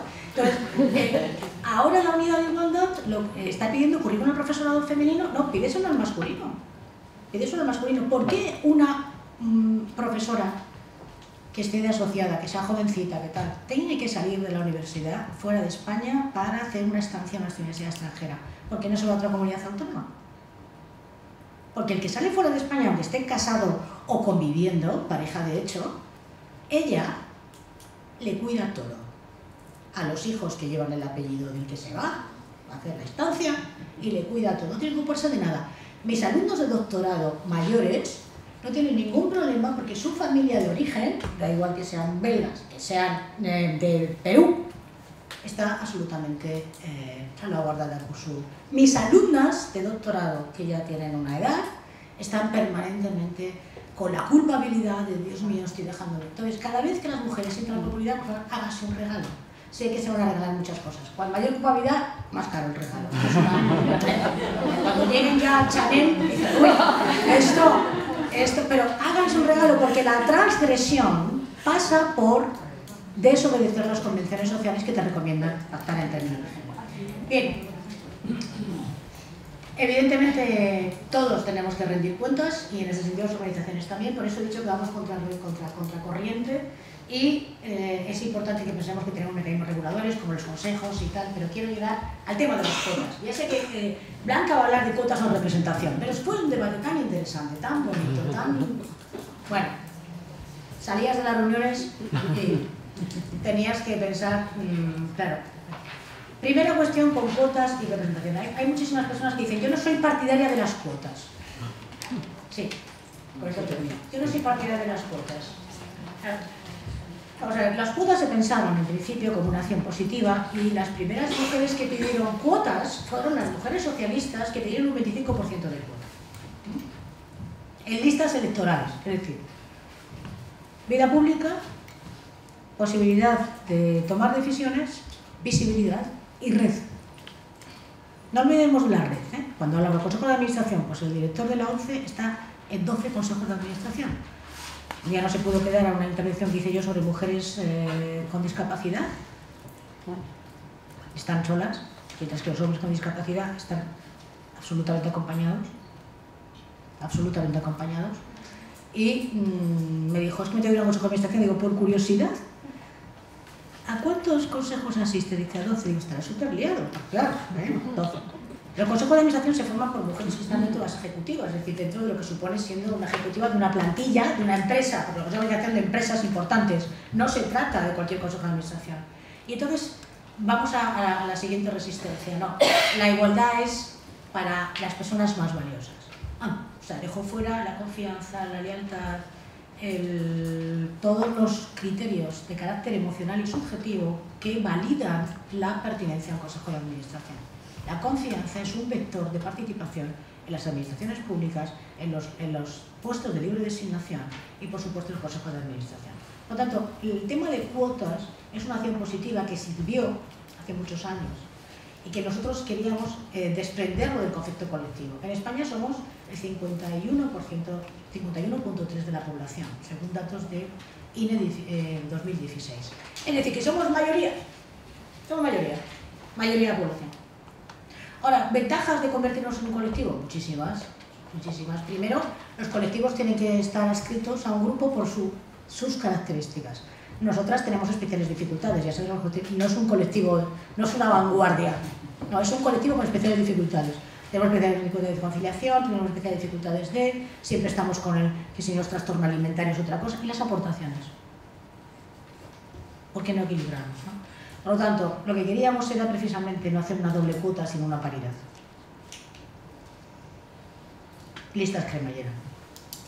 Teníamos además textos sobre paridad, las, carpetas estaban perfectamente documentadas y la paridad significa trabajar con las mayorías.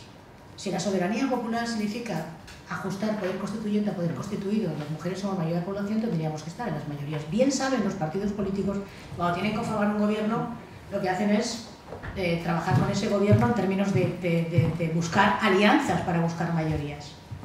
Bueno, pues negociamos un 5% en los cinco primeros puestos. En los cinco primeros puestos. Nadie creía en, la paridad y paridad, bueno, pero eso es pronto, a pesar de que teníamos un gobierno paritario. A pesar de que teníamos un gobierno paritario. Se hablaba de las que más saben, como si la igualdad fuera sospechosa de malversación. Entonces la minoría se reserva el derecho a admisión. Tú sí, tú no, tú sí. Y esa representación, el concepto de representación nos parecía mucho más importante. Y pusimos entre 40 y 60, no 40 para las mujeres, entre 40 y 60. No 40 para las mujeres. Pero los partidos políticos utilizaron el 40 para las mujeres, una malversación más. Y la Unión Interparlamentaria Europea, que yo siempre se lo estoy planteando, en España no hay cuota, en España no hay cuota, es un 40 y 60, no hay cuota de 40. ¿Mm? Hicieron posible que siempre fuera un 40%. Entonces, ahora hay listas cremallera, ahora hay listas cremallera, también fue una iniciativa de, de, de Pública fue listas cremallera, estatutos, y ya otros partidos se han, se han metido en listas cremallera. Ahora bien, la igualdad en ningún caso es un asunto que deba, que, que, que deba someterse a, tema, a colectivo, a especiales dificultades. Es un trato, tanto en público como en privado, que hace que la ciudadanía no sea un estatuto legal, sino el ejercicio pleno de derechos y sin pedir permiso a nadie ni explicar por qué estás allí. Nada más, muchas gracias.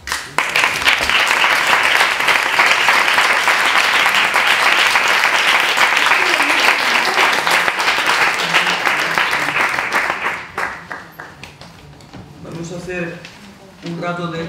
Vamos a hacer coloquio y nos quitamos después el descanso, lo hacemos más breve, solo para el pipí y ya está. Así que, ¿quién quiere la palabra? Si os podéis... No, yo también tarde. Soy la tarde.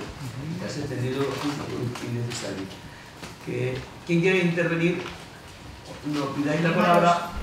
Animaros. Hacedlo breve y, y, y si podéis... Animar. No, si podéis identificaros también. Venga, Nuria. Quería retomar de todo eh, fascinante charla. Eh, has mencionado la RAE, entre todas las muchas cosas interesantísimas. Yo quería simplemente compartir una anécdota. Yo soy en perspectiva de género en una universidad británica a estudiantes de primero que formo como hispanistas, lo primero que digo en clase, lo primero que pongo es la definición de género de la Real Academia Fantástico. Española. Eh, no, perdón, lo primero que hago es preguntar al alumnado qué es el género y empezar a llenar la pizarra con todo lo que ellos y ellas qué buena idea. dicen. Y, y- y es curioso cómo eh, eh, van, van hablando, van hablando chicos y chicas de, de- de 18 años, van hablando de cuerpo, van hablando de sexo, a veces están confundidos y finalmente les pongo la definición de la Real Academia simplemente para ilustrar que la definición no dice absolutamente nada de lo que ellos han entendido como género. Fantástico, me quedo con el ejercicio. Fantástico, Quería compartirlo. Sí, muy bien. Muy bien, Nuria. Es la forma que se enteren también ellos y lo reflexionan, si no, no... mm. Lina quería Sí, decir una, algo. una pregunta. Yo también hago ese, yo también hago ese ejercicio y la Ah, verdad muy que bien. está, eh, eh, que está, que está bastante, que está bastante bien porque salen muchas cosas y sobre todo ver lo que, lo que, lo que entienden, ¿no? Y, eh, y bueno, a mí cuando mi, mi tesis, porque la hice fuera, sí que llevaba en el título la palabra género, pero luego cuando la publiqué aquí en España, el Consejo Editorial, era el año 1999-2000, dijo que, género, que eso no existía, que para género es de punto, ¿no? O en mis habilitaciones en el año 2007 me dijeron que para qué hablaba de, de género cuando el se- era lo que debería utilizar era para sexo, que además era mucho más divertido, ¿vale? En el Tribunal de Habilitaciones en el año 2007, o sea que no, eh, no estamos hablando de... No, nada. Pero yo, yo lo que... Una, una preguntita muy corta porque vamos eh, mal, de, mal de tiempo y hablando del tiempo, ya sabes que a mí lo del tiempo también es, es mi, mi- caballo de batalla, todo lo que tiene que ver con el tiempo. El tema de la disponibilidad, ¿no? que tú decías, las empresas privadas, claro, lo que, lo que valoran realmente eh, no es el talento, tú decías, es el tiempo, ¿no? yo diría la disponibilidad del tiempo, ¿no? es estar disponible eh, siempre. ¿no?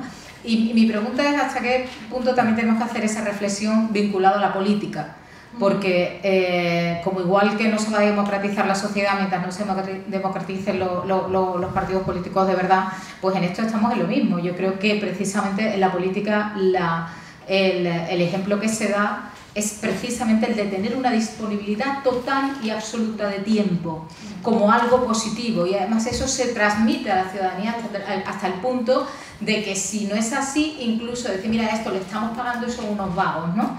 Entonces, yo, yo, yo creo que ahí se está dando un, un mensaje muy erróneo, ¿no? El, tenemos el ejemplo reciente de Cristina Cifuentes, ¿no? De yo no voy a tomar vacaciones, etcétera, etcétera, mm. ¿no? Entonces, yo creo que, que eso es algo, y es, algo en lo que caen también personas que se supone que están defendiendo la, la igualdad. Hombre, yo sé que estar en un puesto de responsabilidad, yo he estado en la, digamos, en la, en la, en la política, pero soy la política universitaria, he sido cinco años vicerrectora y sé lo que eso significa, pero también sé que, que se le pueden poner, digamos, codo, ¿no? Roglarlo y decir, bueno, pues a partir de tal hora no se tiene... Y, y, y, en ese sentido me gustaría bueno, escuchar tu reflexión porque creo que la política da un mal ejemplo en ese sentido de, de, de gestión del tiempo y de dar importancia a los asuntos de, de, de cuidado, ¿no? Y, y, bueno, todo lo que tenga que ver también con las bajas maternales, paternales, bueno, los permisos de maternidad, de paternidad. Y yo creo que ahí creo que, la, que, que, que, hay que hacer una, o sea, desde la política se va a hacer también una, una autocrítica, eh, porque creo que, que, se, que se está transmitiendo precisamente un, digamos, un, un, un discurso que, que, entra muy bien en la horma, o sea que los hombres entran muy bien en esa horma, pero las mujeres o las personas que tengan responsabilidades de cuidado no entran en esa horma. ¿no? Y si puedo, me puedo, porque yo, ah, yo tengo una reflexión que hacer que conecta precisamente con lo que, con lo que he hecho con la, con la construcción de Lina y dado que mañana creo que no va a estar, no, en mi, no, sí, sí. ah, sí está, ah, bueno, bueno, en todo caso. Uh, este, ¿Para cuándo la paridad en los partidos políticos?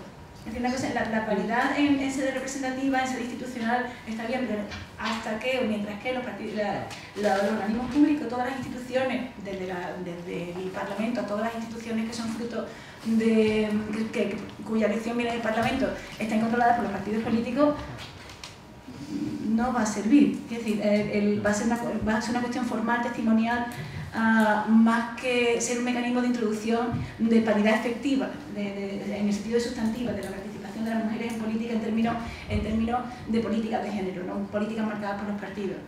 Uh, ¿Ha sido alguna vez un tema de discusión la paridad de los partidos políticos cuando, cuando se debatía la, la, la ley? Yo voy a dar la palabra a Soledad. Sí, pero y, y, y, luego terminas tú, digo para no... No, pero... Eh, no, Soledad quería dar. Voy a decir una cosa. De lo que habéis dicho de la política es absolutamente cierto. Una anécdota.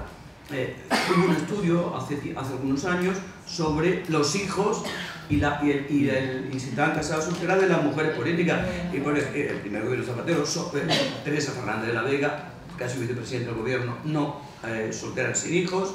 La presidenta del Congreso no tiene hijos, Margarita Robles es soltera sin hijos. O sea, que las mujeres que tienen más facilidad para formar parte de lo que es la, pirámide, de, la cúspide de la, de claro, son las que no tienen obligaciones familiares, sino las posibilidades disminuyen y decrecen. Sole. Yo no sé para qué ha dicho lo de mujeres sin hijos me ha provocado amparo, no iba a decir eso. Pero recordando la, la, ley de interrupción voluntaria del embarazo, estoy recordando una portada, creo que de la ABC, que decía algo así como Zapatero deja la ley del aborto en manos de mujeres sin hijos. Sí, fue una portada. ¿Te acuerdas de aquella portada? Fue terrible. Se salía María Teresa Fernández de la Vega, Viviana, la tercera no recuerdo quién era, salía tres mujeres muy importantes en el momento, como dejaba en mano una ley tan importante de interrupción voluntaria, mujeres, bueno, pues, habían sido madres que no habían tenido hijos y por lo tanto mujeres anti, anti, estériles, estériles, efectivamente, anti mujeres, mujeres, mujeres, mujeres, naturaleza de mujeres. Esto es una parte. No pero me, me, lo he recordado, lo he recordado. Al hilo de esos recuerdos, yo no sé, Maggie, ¿tú te acuerdas cuando, en el congreso que tuvimos, en, tuvimos en el congreso sobre participación política, en Chile hace ya unos años. El dato que, un dato que me llamó la atención, que reportó Marcela Río, fue que no recuerdo exactamente de dónde salía ni cuál era la, cifra exacta, pero no era tanto que las mujeres mm, que estaban en órganos representativos políticos tuvieran el porcentaje de, de o sea, la diferencia entre mujeres y varones con pareja no era tanto, uh, o con hijos, no era tanto como el de mujeres sin pareja. O sea, que de alguna manera u otra uh, el el, los años de fertilidad se sorteaban, o sea, tú uh, podías ser parlamentaria joven o ya con los hijos crecidos y de alguna manera u otra eso se sorteaba. Pero a mí me sobrecogió la cifra tan elevada de mujeres sin pareja. El, el, exacto, o sea, como algo que, no, algo que no se asume con la misma facilidad que a insisto, no recuerdo disculpadme, no recuerdo ni de dónde procedían los datos ni cuál era la cifra exacta, pero era mucho más elevado el número de mujeres políticas sin pareja que sin hijos. Donde tú y yo estudiamos hicimos la tesis, la Que, mujer que, que que, que tenía Soles no había, terminado y ahora había animado todas. Yo la pregunta es súper breve, súper breve la pregunta. Súper breve la pregunta, pero creo que quería que desarrollaras un poco más sobre eh, la falta de arquitectura jurídica de la ley de igualdad. Una ley de igualdad sin decretos, sin órdenes, lo, lo poquito que se ha regulado ha sido la marca de excelencia en igualdad para. Exacto. Y la falta de régimen sancionado. Me gustaría que profundizara en para cuándo y cómo el régimen sancionador para las políticas de igualdad. Dos o tres más y te la doy a ti. Yo la- Que ahora se han animado todas. Hola, bueno. Yo iba a armar, vamos, ¿verdad? estupendamente lo que has dicho, porque a mí lo que me preocupa dentro de la ley es la falta de fiscalización que hay en la ley de igualdad. No hay un régimen sancionador como en otras normas legislativas, que yo creo que también sería una manera de garantizar, porque las demás, no sé, el régimen fiscal da como más miedo, más pánico. Eso no pasa con una ley de igualdad, no existe. No hay quien te sancione, no hay quien te diga esto está mal, esto está bien, pero tiene una pena detrás para que luego se te ley. Eso lo he hecho yo de menos dentro de la ley. Vosotras dos. Me levanto rojo. porque no me ves. Dale rojo. Perdonadme que no sepa el nombre. Tú. Sí, eh, Luego tú. Y luego vosotras dos y cerramos. Ya no más. Tenía que haberlo pensado antes. Bueno, tiene tres días además para, para seguir aquí, porque vamos a hablar. Tú, tú, por favor. Eh, defensor del pueblo, eh, premio del año, soy de igualdad. Eh, una duda. ¿De la defensoría? Sí, defensor del pueblo. En todo lo que nosotros supervisamos, que es el desarrollo de la ley, que no es ningún desarrollo, porque no es ningún reglamento, reglamento- no es desarrollo reglamentario ni normativo, pero todos son principios generales, sí supervisamos políticas públicas. Me gustaría eh, su opinión sobre cómo se articula la rendición de cuentas en la administración. Nosotros continuamente, porque no tenemos más margen que la ley y que lo cumpla el organismo, no hay régimen sancionador. Eso lo tenemos y no hay porque no hay ningún desarrollo ni tampoco previsión normativa para hacerlo. Tenemos lo que tenemos. Dentro de lo que tenemos, cómo se puede articular un mecanismo de monitoreo y de rendición de cuentas. Porque planes hay muchísimos, Sí, sí. que el tema de violencia de género, que también de competencia, pero no hay organismos que supervise ni ante quién rinde cuentas. Entonces, si puede explicar cómo se puede articular y cómo se pensó. Y si simplemente, bueno, además, el sí. Luego lo dices. Sí, yo quería hacer un comentario al hilo de lo que estoy hablando, totalmente de acuerdo. Evidentemente, bueno, yo estoy haciendo doctorado en, en la Universidad de Huelva eh, de mujeres y política, entonces pues es un tema que me interesa muchísimo. Y, evidentemente cuando una mujer se mete en política lo tiene muchísimo más complicado que un hombre, entre otras cosas porque probablemente las decisiones siempre las toma al final un hombre, ¿no? Si va, dónde va, qué lista está, aunque eso ha cambiado mucho relativamente, como estamos hablando, pero en la realidad no ha cambiado, ¿no? Y si al final eh, resulta que no se tiene que quedar alcalde, a lo mejor pues siempre estará más de acuerdo con el típico eh, amigo o compañero y no con la mujer que parece que le va a complicar más la vida. ¿no? Entonces, en ese sentido, eh, quería sacar también el comentario de la, política en general, las mujeres que se meten en política, el tiempo que están es un tiempo, ya los obstáculos que tienen son mucho más complicados, es un tiempo perdido, porque después eso en el currículum tu vida se paran también, desde te lleva la vida siendo concejala, diputada, no sé qué, eh, dentro de tu profesión, siendo eh, técnica, asesor, o sea, técnica no, eh, llevando técnico, equipos de técnicos, asesora de temas sociales, de temas de igualdad, de lo que sea, y en un currículum es muchas veces, dice, Dios mío, cuando termina tu parte política, dice, bueno, esto no sé si quitarlo porque es que como que mm, es problemático. Entonces, en ese sentido, eh, quería hacer la reflexión de que a lo mejor sería interesante, ya que está está también la política, pues eh, mirar eso, no solo para, por supuesto para las mujeres, que sería una forma también de apoyar, o sea, que la vida política no puede no tener ninguna, mm, ninguna, ningún valor después de cara a un currículum, de cara a una experiencia eh, profesional de gente que se lleva toda su vida haciendo eso, toda su vida haciendo una vida pública entregada a muchos, a much- muchas, a trabajo con mujeres y llevando a cabo proyectos magníficos para muchas mujeres de sus pueblos, de sus ciudades y de su vida. Y luego al final y cerramos para dejar de ¿A quién le toca? ¿A mí? Bueno, Tú, tú. No, no, primero ella. Y luego tú. Mi nombre es María Astia, soy de Perú, soy doctorado aquí en la Pablo de la Vine. En primer lugar, escucharte Soledad me, me ha encantado, porque pareciera ser que están traficando mucho de lo que se está viviendo en América Latina. ¿Verdad? Porque realmente hay un fuerte retroceso en política de igualdad, para nosotros siempre lo he hecho. España ha sido un buen referente de lineamientos y de, entre comillas, buenas prácticas que podríamos traducirlos en nuestros países. Pero en, esta, en estos últimos años realmente hay un retroceso abismal. Y preocupa, por eso me interesaba escucharte dónde están ahora mismo las resistencias, qué hacer frente a las resistencias. Con decirte, caso Perú, para no hablar de toda América Latina, caso de Perú, ahora mismo se está debatiendo aquel mecanismo de igualdad que logramos, no por, por el gobierno, sino por la lucha de las mujeres, después de la conferencia de Beijing, el Ministerio de la Mujer pasó por tres nomenclaturas. Primero Ministerio de la Mujer y de Desarrollo Humano, luego el Ministerio de la Mujer y Desarrollo Social, luego nos pusieron el Ministerio de la Mujer y Poblaciones Vulnerables y hoy día, ahora actualmente se está empezando a discutir que se va a fusionar los dos ministerios de la mujer y el Ministerio de Inclusión Social para llamarle Ministerio de la Familia. Con eso que quiero decir, solo por decirles las nomenclaturas que aparentemente no dicen nada, para mí sí hay un trasfondo político. Y cómo las políticas se están orientando justamente a ser más familisticas que desde, desde una perspectiva de igualdad. Cuando tú hablabas de la famosa resistencia, ¿no? Creo que además de los elementos que tú has hablado, mm. a mí me parece fundamental trabajar el tema de la cultura organizacional.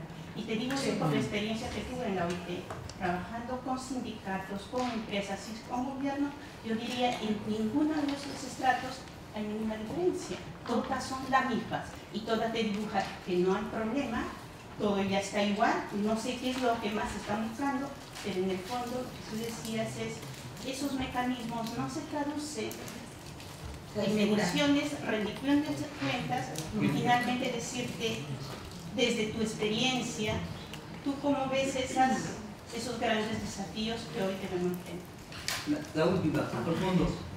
Y sí. brevedad, por favor. Sí, y me llamo Mercedes y soy Mercedes López y formo parte de la Comisión Permanente del Consejo Andaluz de Participación de las Mujeres. Mm, no sé, después de lo que se ha dicho se me ha ido un poco... Yo quería hablar de Soledad, por supuesto, agradecer muchísimo, como no, todo lo oído que cae un poco como agua primaveral, y refrescando, ¿no? Eh, dentro del trabajo, tanto de la administración como técnica, de la administración, de, hablo del ámbito de la salud, de la Consejería de la Salud, porque soy enfermera jubilada, dentro del ámbito de la representación, del asociacionismo de las mujeres, dentro del ámbito político, en el que también he participado, no en, partidos, pero sí a nivel asociativo, y en los diferentes territorios locales, provinciales, regionales, el problema de, la sanción, es decir, cómo, cómo sancionar los comportamientos que son, aparte que por supuesto nos has dado muchísimas pistas que las sabemos, pero que nos las has refrescado, que, es verdad que la transgresión tiene que ser, ir buscando siempre la respuesta adecuada eh, en, desactivar y en desautorizar. Pero no hay, eh, igual que reivindicamos la transversalidad, no hay una transversalidad ante quien depositar una, denuncia de, de, falta de responsabilidad, de coherencia ética o moral, etcétera, en estos diferentes campos. Es decir, Estás en un ámbito político y hay una, desautorización o descrédito o una pelea y no tienes a quién dirigir o dónde tal. Estás en una entidad eh, local o provincial, eh, territorio de ayuntamiento, territorio eh, municipal y, no tienes, decir, ¿ante quién vas a denunciar una, una situación de falta de responsabilidad, de incumplimiento de la ley en, diferentes factores porque no me quiero extender en, los ejemplos. ¿no? En, definitiva, el régimen sancionador es un, es un espacio de reflexión absolutamente urgente y necesaria en los distintos lugares. Tanto en, en, nuestro trabajo, pues, como decía la compañera, ¿no? Una mujer que se dedica a la política, pues resulta que es un tiempo de su vida y dice, bueno, ¿y después qué? O durante qué una mujer que se dedica a la representación y el trabajo social en el voluntariado, que hay una falta de reconocimiento de autoridad en todos los campos y al mismo tiempo hay un vacío es imposible ante quién denuncio yo esta situación o bueno Muchas gracias. Soledad ya sí. Bueno, como vamos, a tener, mucho tiempo, voy a hacerlo todo a ver cómo, cómo lo podemos. Esto era un, problema, el, el, de las, de las sanciones, ¿no? porque queríamos precisamente que, que fuera una ley que prosperara tanto en términos de, cultura, de trabajar con las televisiones, trabajar con, con el tema de solo podemos meterlo de discriminación directa con el tema de la maternidad, para que no, hubiera ninguna pregunta y se ha conseguido. Pero es evidente que, que, la ley la tiene que desarrollar la Administración Central del Estado, porque las, las comunidades autónomas tienen sus propias leyes, como ha dicho momento la consejera de Andalucía. Y, esa, y esa Administración del Estado, la, el Partido Popular recurrió la ley porque como un colectivo va a tener transferencias electorales, ¿no? como si fuéramos un, colectivo, y por supuesto no la ha desarrollado, o sea, no la ha desarrollado. Pero es que tampoco es tan problemático desarrollarlos, puede ser decisiones, se puede forzar las decisiones. Finlandia ahora está sancionando empresas que no apliquen planes de igualdad, lo está sancionando. Finlandia no sé, no, a si ellos no, directamente hay sanciones, porque tienen la responsabilidad social corporativa en el sentido de tener precisamente optar también a reconocimientos públicos con marcas de excelencia que se un plan de igualdad, pero un plan de igualdad vaya a ser conciliamente a Ricardo que estamos promocionando, no, sino un plan de igualdad en términos de cualificación colectiva y talento, no obligaciones familiares, ¿no? Y eso tiene que hacerla, pero es que las unidades de igualdad no están en la RPT, o sea, es que esto por esto lo digo todo, realmente hay una resistencia en el sentido de llega un gobierno nuevo, borro la pizarra, se ha borrado la pizarra, sin pensar que precisamente se podría perfectamente aprovechar los recursos que tiene, que a partir del año 2003 eh, se planteó que se alejaba el maltratador y eso fue un tema del gobierno de Aznar, pues vamos a reconocer ahora que la ley de violencia tiene que seguir avanzando pues igual aquí, ¿no? Se tendría que haber hecho así, no hay ningún tipo de posibilidades en ese sentido, excepto si la Administración Central lo plantea, y si desde luego desde el Parlamento se habla de ese déficit. Pero es que desgraciadamente, y esto se une con otros temas, las, eh, aunque no lo he dicho antes, lo pienso, porque recogiendo las aportaciones de, de mujeres que han trabajado en ciencia política, las, no se trata de poner mujeres por el hecho de ser mujeres, se trata de poner personas con formación y cualificación eso es así. Entonces, es evidente que no puedes estar simplemente, porque cuando tú tienes una cualificación suficiente, se supone que tú tienes que, avanzar en términos de argumentar, no pedir favores, decir, oye, pero esto es injusto, no, no, no, argumentar, argumentar. Argumentar que la vulnerabilidad como tal no existe, las mujeres inmigrantes están empleando más de un 4% del PIB en mesa, es decir, ¿cómo que vulnerable? Si estoy arreglando todo, estoy trabajando aquí, el que está conmigo está lo suyo, estoy criando a mis hijos, si no estoy dando dinero a mi familia de origen.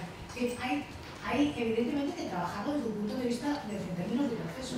Las políticas familiaristas son en toda Latinoamérica, en toda Latinoamérica, de hecho Naciones Unidas proponían que la universalidad de derechos se cambiaran por otro tipo de, de multiculturalismo, por lo cual terrible, terrible, porque ahí entraba la religión a, a enemiga absoluta de lo que sea la autonomía de las mujeres y del cuerpo de las mujeres y por supuesto ese, ese desarrollo tiene que, tiene, que, tiene que denunciarse que no está, que no está la ley desarrollada. No, no tanto por un pacto, sino vamos a ver, eh, exigimos a la Administración General del Estado que la evalúe y exigimos a la Administración General del Estado que la desarrolle, que desarrolle por reales decretos. Las defensorías, las defensorías son donde llegan, porque son autónomas en términos de, que son garantes de esa vigilancia sobre las políticas públicas y es donde llegan las quejas en las defensorías. Y los informes de las defensorías deben ser tratados en los parlamentos, que yo creo que no son tratados en los parlamentos como se debiera, bajo mi punto de vista. ¿eh? creo que, es una cosa que siempre se eh, eh, que, que, las defensorías hagan una, una, devolución de cuáles han sido sus, sus recursos. ¿no? ¿Qué ocurre? Que la vulnerabilidad de formación, que las, mujeres que están en las mujeres feministas. Cuando digo feministas es con formación en textos y argumentos y fundamentos que han trabajado otras mujeres van a ser alternativamente relevadas de los puestos de responsabilidad en el ámbito de... Es decir, no se trata de saber cuántas mujeres hay en un parlamento, se trata de saber el índice de rotación. Y hay señores que entran de jóvenes y envejecen en el escaño y hay eh, el índice de rotación. Las preguntas hay que plantearlas ya en términos de decisión. El índice de cuento de la tan claro. O sea, es que no tiene ningún sentido, o sea, no tiene ningún sentido. Y el tiempo en política es, es tremendo porque se valora positivamente una comparecencia de 5 horas. O sea, tú haces una comparecencia de 5 horas y dices, madre mía, ha estado 5 horas. Pues lo habrá hecho muy mal, porque no hace falta estar 5 horas. Entonces, no hace falta estar 5 horas, con una hora tiene suficiente. Entonces, en política el tiempo, que yo creo que eso es un tema, y unos antecedentes del el culo de hierro de los sindicatos. Los sindicatos planteaban que tienen un buen culo de hierro condición sine qua non para poder negociar un convenio. Los sindicalistas fueron los que formaron los cuadros de los partidos políticos. La memoria que hemos visto en otras organizaciones la tienen también los partidos políticos. Y esa memoria es tener, por supuesto, tiempo, tiempo disponible. Pero acabo con esto. A mí me gusta mucho la definición que se hace de techo de cristal con una holandesa que hizo un estudio sobre mujeres ejecutivas y directivas. Y el techo de cristal tiene defectos de organización, en todas las empresas tienen organización de tiempos horarios que expulsan a las mujeres. Y dos, la persistente asunción de tareas emocionales y de infraestructura que asumimos todavía las mujeres. Y digo asumimos, asumimos. Tiene esa doble vertiente, ¿no? Mientras no compartamos el cuidado en el sentido de este es hijo tuyo, o perdona, estoy en un piso de estudiantes y aunque tengamos exámenes puras como yo, no hace falta que tengamos dos común, yo hago siempre a mis alumnos y a mis alumnas un ejercicio de compartir piso de estudiantes, ¿quién hace las tareas? Cuando hay exámenes, deja, dedícate a lo tuyo. Esto, esta, esta, estas diferencias de tiempo hacen que al final se pauten y luego tienen manos disponibles. disponibles. ¿Qué significa? Que los tiempos de privados, de dedico a lo mío, es los huecos que dejan los demás los familiares. Entonces, en casa sigue habiendo una disponibilidad mayor, una presencia mayor, cuando la ausencia educa mucho más que. Nada más. Luego, la oportunidad.